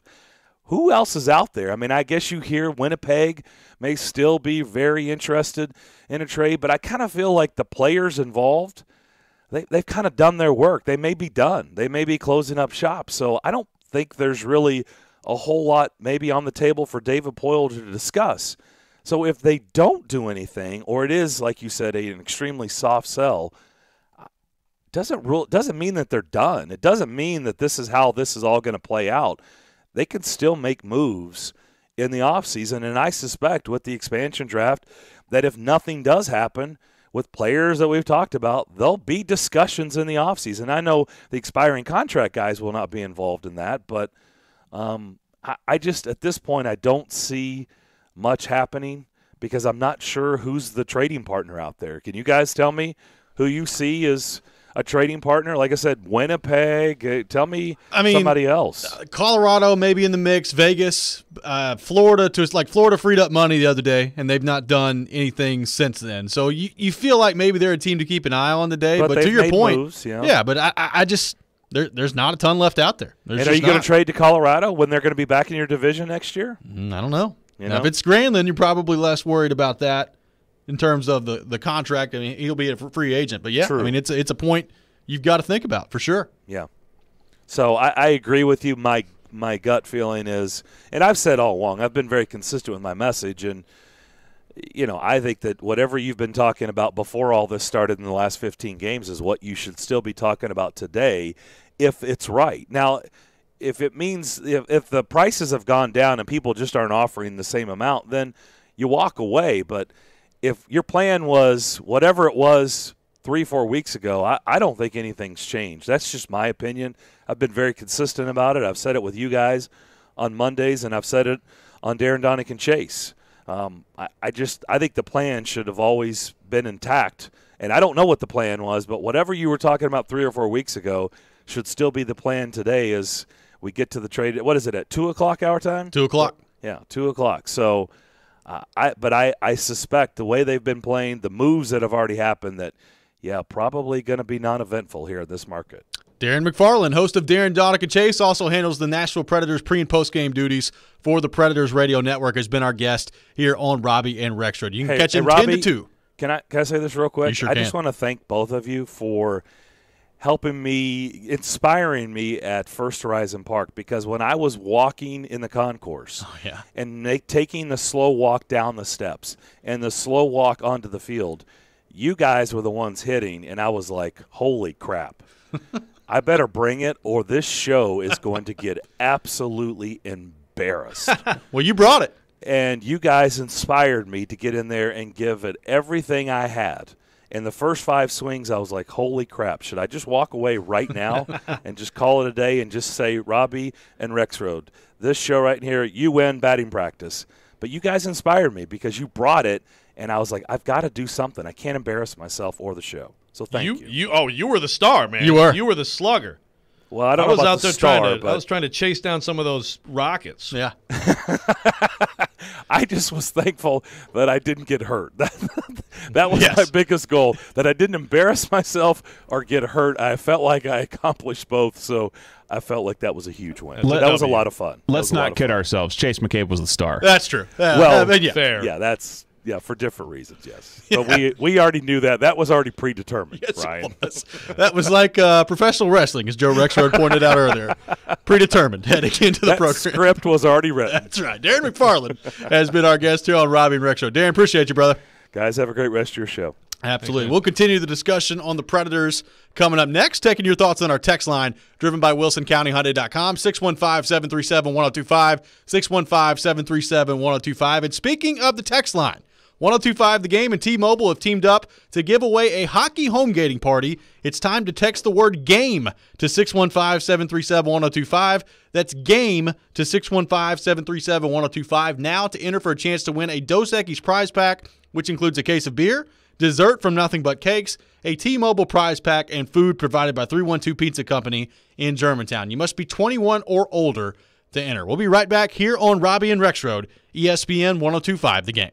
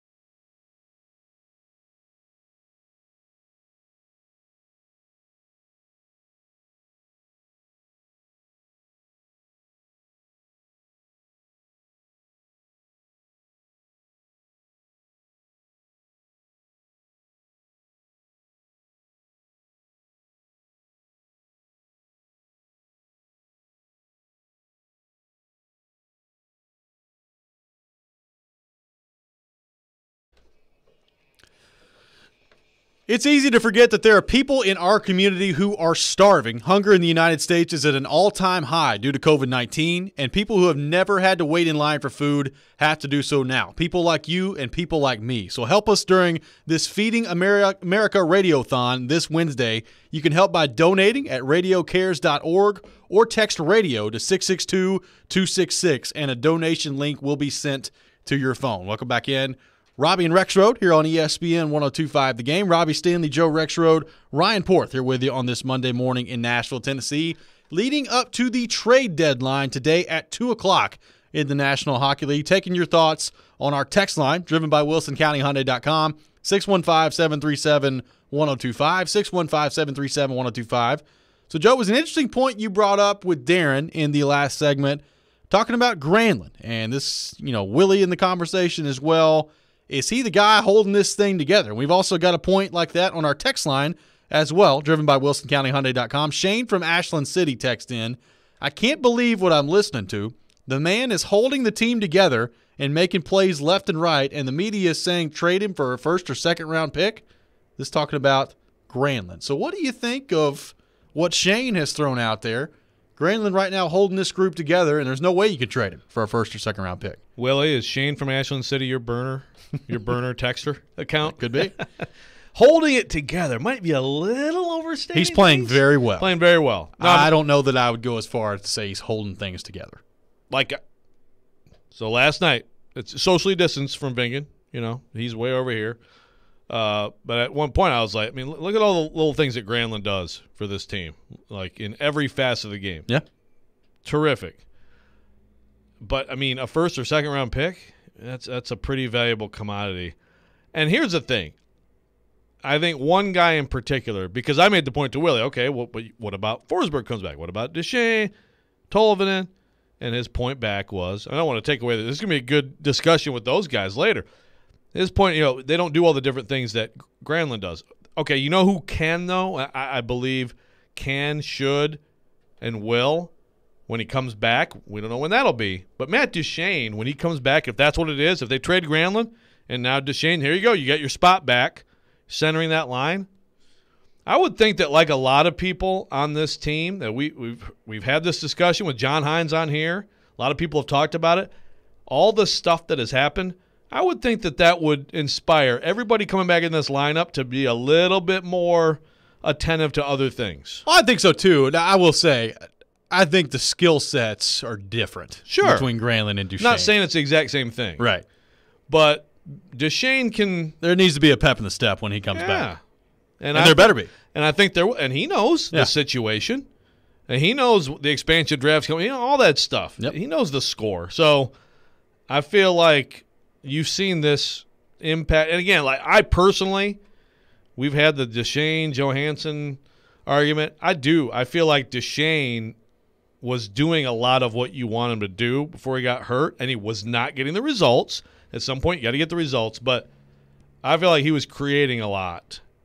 Um, and I feel like if he comes back here soon, he can get in there and give you. It's different, but he can still he can compensate to some extent, and maybe and maybe in some ways be a little bit better. But now Johansen's vibing, so That's they're in true. a, they're in a much You- better spot than they were. Robby, sure. Robby, and Robby and Ryan vibing. Just vibing. We're vibing, Robby. That's right, vibing all day long. At Hall underscore Score five Pittman. goals. That's Score five goals. At Hall underscore Pittman on Periscope says Granlund skates 20 minutes a night, is on power play one and PK one. He was the only forward on both five on three PKs. We might not he might not be the glue that holds it all together, but man, that guy does it all. Yeah, he no, does. And from that perspective, the PK, yeah, no. I mean, I'm not saying it's the exact same thing. You're going to lose something you're not going to exactly replace if you move him. But let's take the big take step back a little bit. Take the big view of everything. If it's a first, I don't think you you can't even debate it. Right? First, I mean that's that's a heck of a if it's a first round pick, I don't know how you walk away. If it's that. a second, I'd do it. If it's a third, I'd think about it. Uh, Mash709 on YouTube says, I say the Preds stay put. As a Leafs fan, I'd love Granlund, but they should keep their assets for at least this season. So the Leafs fan getting Nick Foligno feels better about leaving Granlund to the wayside now. Great. Thanks for weighing in. Absolutely. Preds, you know, stand pat and then lo- lose all your expiring contracts, and the Leafs are fine now. Kyle on Periscope says, we need to re sign Granlund this offseason. I'm sorry. There's nothing to apologize for. Maybe they will. No, listen, that's part of the uh, all the moving parts here, including how soon are guys getting back from injury, what are you offered, and how do you feel about if if I if the Preds feel good right now that he he would want to come back here, like he he would lean toward coming back here, regardless of what the market says. Then that's different. That changes it. When we come back, we'll continue the discussion on the Nashville Predators, taking your thoughts on our text line, driven by WilsonCountyHyundai.com, 615-737-1025, 615-737-1025. Also have an update to the poll question of the day as well, and maybe some news on Jadeveon Clowney. All that coming up next. This is Robby and Rexrode here on ESPN 1025, The Game.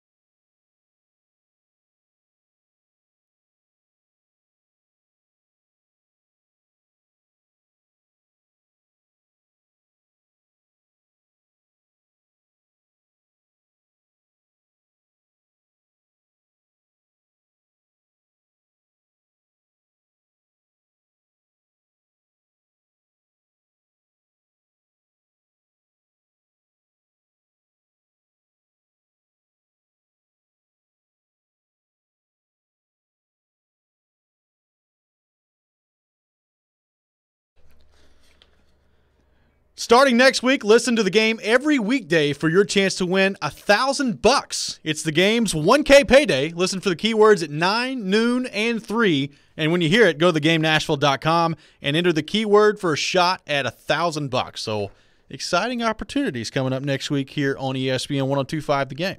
We have a lot of gifts for the people. A lot of gifts for the people coming up. You get to watch our pretty faces now on live streaming. We get gifts for the people coming up. It's a good time. Free beer Friday. Yeah, it's a good time to be a listener here at ESPN 1025 The Game. The 1K payday. Yeah. Preds tickets. I'm just kind of sitting here and taking this all in. We've had a lot of people uh, asking about your Virginia Tech shirt or your, your hoodie today. Oh, yeah? Drew Chester making fun of it, saying it's from the 1980s. We've had a lot of people asking why you're wearing a Virginia Tech sweatshirt. Go Hokies, baby. I'm a Hokies fan. How long have you had that sweatshirt? My little brother went to Virginia Tech. There you go. He bought me this. I like it's, It's not from the 80s. I'm just telling you what people said. It looks like it's from the 80s. It is a little ragged, isn't it? Yeah. Sorry. This is our time to get back at Rexrode for him making fun of my ragged hats like two months ago. Yeah. Yeah, I see I a like- couple holes in that sweatshirt. Wow. Are he's there? Taking Are there to a- holes? he's taking it to the next It's level. a, it's a little bit ragged around the neck here. taking a cigarette and just sticking it through there. Yeah. Uh, go Hokies, though. Go Hokies, and sorry, Glennon. I hate the Wahoos. That's right. Let's go back to the text line driven by WilsonCountyHyundai.com. Caleb texting in, why would you want to make any moves at all right now? This team is buzzing and playing very well. I wouldn't break anything up. This team, even making the playoffs, is not a bust. Go Preds. There are people that just totally dismiss the idea of a sell of any kind now with the run they've been on. And I understand it. I don't necessarily agree with it, but I understand it. Yeah. I think you're a little bit prisoner of the moment. You're caught up in what's going on, and, and that's fine. I mean, if you think that, you know, that Granlund, uh, selling Granlund off means you are just going to fall apart, which apparently Willie thinks, I think there are re- there are a lot of reasons why you would want to see this through, make the playoffs. Business reasons, and also I think there is a little bit of reward the players who have done this for what they've done. Although I think that still has to take a backseat to the you know betterment of the organization. If you can get assets, you've you've sold off assets for a long time. The overall trend is still not the where, where you want it to be going. Maybe it starts coming back because of these young guys. Maybe it does. There's a lot of promise, I think, with some of the guys who have been out there. But if you have an expiring contract, Porth brought this up last segment. Trade Granlund and then sign, then sign him anyway in the offseason. You could do that. Yeah. I mean, I get it. Look, it's fun. This team is a blast right now. 12 of 15 and they are just they are very fun to watch and it's it's interesting to think about a team last night. Again, what was their fo- shot total? Do you know? 17, 18 shots? Didn't they have like 13 with five minutes left in the third period? Yes, that's what I was going to say. They Like, ended up, I believe, with 20. did they? Okay. I believe. But it, like I looked up again, said to Vingan, like they have 13 shots. So a team that has 13 shots after 20 shots, yes. okay, Just double check. So after 55 minutes of hockey, they have 13 shots, and they were a blast to watch. Yeah. Right. So Yeah. I mean, and that's I mean that's great. They're they are harder to play against. They're they're like the identity is kind of what they talked about being, but they weren't at all for the first two months. Right. My my thing with Granlund too, and it feels like we're just bagging on Granlund, and that's unfortunate because he has been really good. But for the last six years, you've spent the trade deadline day giving up assets to go get players that were either worth it or, in most cases, not worth it. And if you don't do anything today, you're essentially giving up an asset to Well, go for a, a playoff spot. We think. I mean, maybe We- the offer's we're not there. Yeah. right? Right. But we don't I know would the say you- offer. I would say you're right. Yes. Yeah, exactly. If you look at it that way, but yeah, we don't know the offer. We don't know the injury situation, people coming back. We don't know conversations that may lead David Poile to believe that Granlund just really wants to be here down the road. We don't know how it's going to go with the expansion draft. A lot of A lot of things we don't know. Yeah, a lot of things. We don't really know anything except that this is an awesome sweatshirt. Let's go back to the text line driven by WilsonCountyHyundai.com. Got a texture that says, "Trade Joey and Philip. Get pieces for the future. This recent run of success has what happened without Filip Forsberg. Let's get a return." They're not trading Filip Forsberg. Trade Joey and Philip. What if that happened today? Johansen and Forsberg out the door. He wouldn't be vibing anymore. Uh, Colorado. Yeah. Just give them all your players. Yeah. I'm going to go out, go out on a limb and say that doesn't happen today. Now, Johansen in some form could be elsewhere Could be. this offseason. Could That's be. possible. Yeah, Forsberg's got to be on that do not touch list, right? You would think so.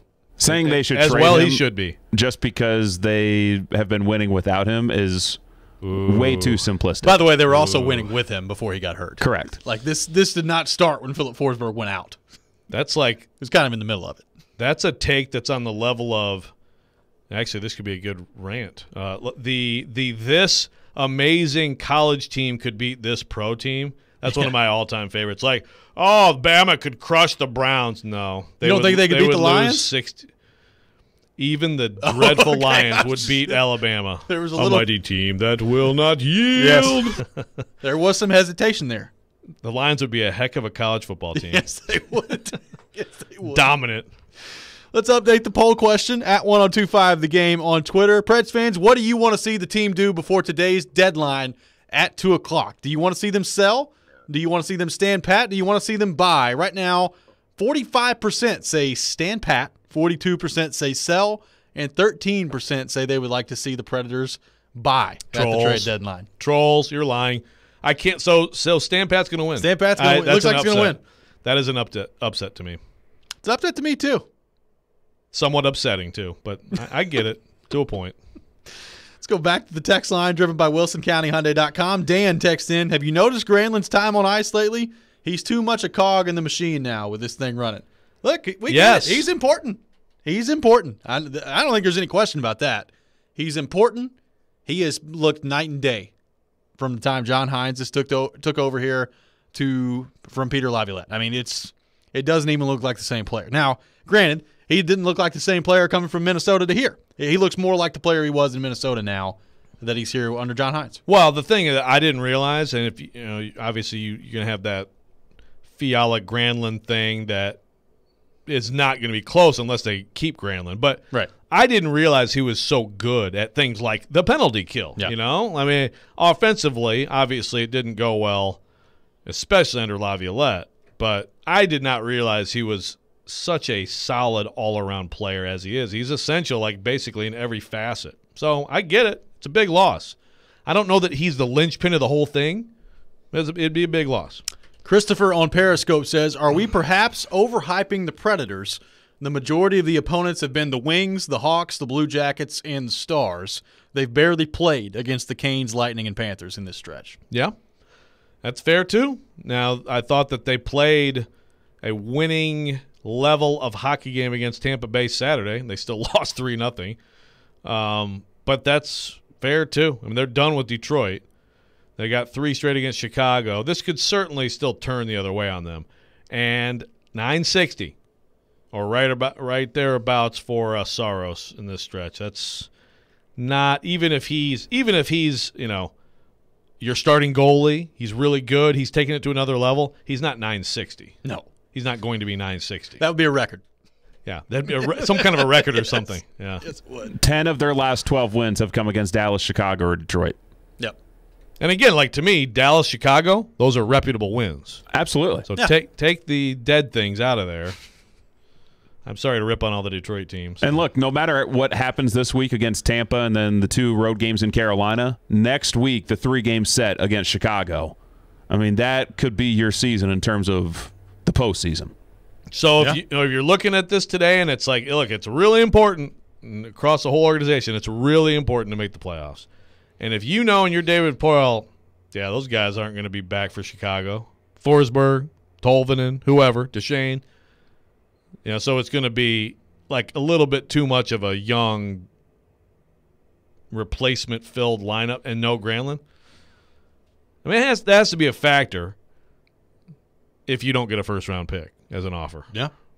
So who's uh, of the of the deadline as a whole? Who's the top guy that's left? I mean, Foligno is gone. Taylor Hall is gone. David Savard's gone on defense. Like, who's left out there that's a top target? If you're a team around the league looking to buy, like, is Granlund the guy at forward? Is is he the best one left? Now, we don't know what the future looks like for a guy like Ryan Getzlaf. There's a guy in St. Louis is interesting to me because Mike Hoffman It's not worked out well lately, and he was a healthy scratch for a period. And St. Louis has started to play a lot better as of late over the course of the last three or four games. Do they have a place for Mike Hoffman? Does he stay there? Like, there's been some chatter about maybe them selling him off and moving on from him. Like, I, I, there's going to be some interesting names floated out there today that I, am interested to see what happens there. You didn't mention Rickard Rakell in Anaheim as well. Pretty good player. You didn't mention Mattias Ekholm. I did He's not. still on the big board. He's still on the big board. Yeah, he is. I'd be surprised at this point. That'd be stunning. Would it? We've gone from uh, that likely to happen to now stunning. I agree. I think it would be. Be stunning in that room too. Yeah. yeah like would. like if Granlund gets traded today, look, obviously, I think there'll be some people who are upset in the room, but also everybody knows how this works, especially with expiring contracts. If you were to sell a foundational player like Ekholm today, I think that would be very surprising. That'd be a, a, kick in the gut for some people. I think it would be as well. We'll continue to keep you updated all day long here on ESPN 1025 The Game with the trade deadline coming at 2 p.m. Central Time today here in the National Hockey League. When we come back, some NFL news to get into. Jadeveon Clowney looks like he could be on the verge of finding a new home, and there was also an atrocious call last night in Major League Baseball that really has you asking the question like, what are umpires and officials looking at in today's world of sports? We'll talk about all that coming up next. This is Robby and Rexrode here on ESPN 1025 The Game.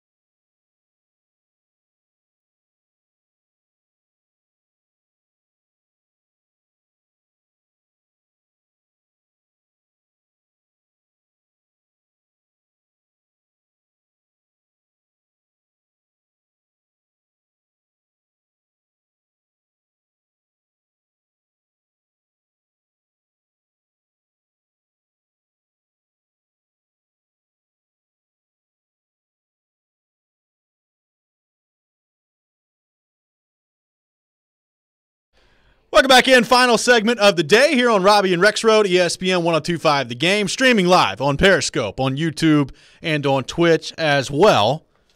Joe Rexrode, Lang Dixon on Twitter said there's absolutely nothing wrong with the 80s retro. So if that was an 80s retro shirt from Virginia Tech, nothing wrong with it. Oh, I totally agree. Now, if it were the 80s, this sweatshirt, it would be like a 90 for me. You know, Yes. about 150 pounds lighter. But yeah, something like that. I don't think it's oh, quite that right. much. Yeah, actually, yeah. I don't think so. Okay. Graduating from high school to today, I'm 85 pounds heavier. Okay. There's a big, that's, I mean, it's a big difference between 150. Yeah, man, that's true. Yeah. What about f- I was a from very that- small child for some of the 80s. Yes. What about I'm that? very young. You are. that photo, circa 2000, Yeah. that we've tweeted out This, before. this would have been a billowy. Yeah, this would have. Yeah. I mean, that was like. What would that have been? My gosh, that was. I don't Did know, you, you say look- that was some Lansing newspaper joint or something? You look svelte. Well, that was the Lansing Yeah. State Journal. Yeah, that was one. That was my headshot at the Lansing State Journal That's 20 right. years ago, and it was many, many pounds ago. Joseph, this is a sad day here on the program. It looks like uh, Jadeveon Clowney's time with the Tennessee Titans could officially be coming to an end. The Cleveland Browns progressing in talks on a deal with Jadeveon Clowney, according to Dianna Russini from ESPN, and it looks like a deal could be completed soon. Clowney visited with the Browns last month, and uh, apparently is visiting with them again this week. Your reaction to Jadeveon Clowney potentially signing with the Cleveland Browns? It was always the Browns. It was always the Browns. Finally, you know. Joe's Clowney. Yeah, Joe's. Clowney. I will miss you, Jadeveon, but I, I want to find this Twitter account that like Titans media people have been tweeting for weeks that is saying, "Oh, it's done deal." Like, why anybody thought the Titans were gonna like re-sign Clowney as their three? Makes no sense. Yeah. So this per well, whoever's Twitter account this is need to bring it out, and, and that person needs to be shamed. Is it Heidi from Dixon? I don't be. know. It could be. Yeah, what's Heidi going to do now? If Clowney ends up in Cleveland, the material is going to dry up around here. It's not going to be your Clowney anymore. Oh, she'll make fun of me for other things. Plus, Howdy has Howdy. Howdy, Heidi. Heidi has four ladders. That's true. Gosh, you got me all flustered, Heidi. Oh, man. Yeah. So uh, I wonder how much money great. they're going to give Clowney. That's my thing. Like they they tried to sign him to a multi-year deal last year at around 18 million dollars. Like where does Clowney's contract come in? I'm fascinated to see what that looks Yeah, like. Yeah, me too. I mean, it's got to be. Does it's it? got to be so incentive laden, doesn't Yeah, it? oh, Just yeah. based on Yeah. participation. I mean, it's. Yeah, I can't wait to see. I can't either. So we'll see what happens on that front. It looks like Jadeveon Clowney progressing closer and closer to a deal with the Cleveland Browns. So Myles Garrett on one side, Jadeveon Clowney on the other side. Watch him stay healthy and have like nine and a half sacks Right. for the Browns. Just wreck games Just left and right. people. Yeah. Joe, did you see this last night in Major League Baseball? It's a game, and this was all over Twitter in the middle of the Preds game last night. The Braves and the Phillies. The Phillies end up winning seven to six, coming from behind. But the story in the game was a call at home plate for the Phillies. Now he was originally called safe. I believe this was Alec Bohm. Alec Baum. How do you say his name, Porth? I think Baseball expert? Bohm. Alex. Oh, so I had it right the first time. Alec Bohm sliding home on the eventual winning run as Travis d'Arnaud for the Braves applies the tag. He gets his knee in front of the plate, blocks the plate, and I will admit, at first glance, it looked like he was safe. Like in live action, it looks like he's safe, but that's what replay's for. You go to the replay, you check it out, and there, a plate umpire Lance Barrett, he called him safe. And there were at least two camera angles that I think clearly showed that he was out and did not touch home plate. He never touched the plate. and should have been thro- uh, should have been called out. Like it was pretty cut and dry. But the replay comes and goes. They come back. They call him safe. Nothing gets changed. I don't know what they were looking at. Like I was blown away that you go back, you look at that on replay, and you come back with you still think that he's safe at home. Like I guess they thought maybe like his big toe or something makes contact with the with the plate. It was an atrocious, atrocious call last night. Like if you're to go to replay, apply the replay. Like what are you looking at? It's like, and, and so then people respond to stuff like this and say, we got to get rid of replay. Well, No, Im- it, seriously, imagine like imagine if we didn't have replay, right? In, in sports, like fo- how many touchdowns that are called touchdowns before that uh, clearly aren't. Yeah. you can't put the toothpaste back in the tube, but it's infuriating uh, that y- you have people whose job is just to look at something that we can all see, and then they don't see the same. Like how? How does this happen? It's like the Preds penalty. I know that's subjective compared with this, but like I still am mad about that from last week. If you want to go back, since I'm wearing a Virginia Tech sweatshirt, sorry, Glennon. Hope you're listening. I mean, that ridiculous call in the national championship game two years ago, Yeah. where he knocks the ball into the guy's hand. Great. We saw what happened. Oh, let's slow it down to see if it touched a fingernail on the way out. Ridiculous. But ridiculous. It's just part. There's no but. No. Our friend Drew Chester che- texted in on my text line. Also says the Braves was an atrocious call. The Reds had a homer that hit a chair and bounced back in on Friday, called a ground rule double, and they even went to replay on it and still got it wrong on the play. So, I mean, that one's a little bit different. Sometimes umpire discretion on the ball going over the fence, whether or not fan interference is involved, like that could be a little different. But uh, The one, la- the one last night was much worse. Yeah. Especially given the situation because the Phillies won the game because of that. Yeah, seven to six final. I just don't know how you look at the replay and determine that he was like sometimes, and and I feel like this is a problem in baseball more so than in other sports.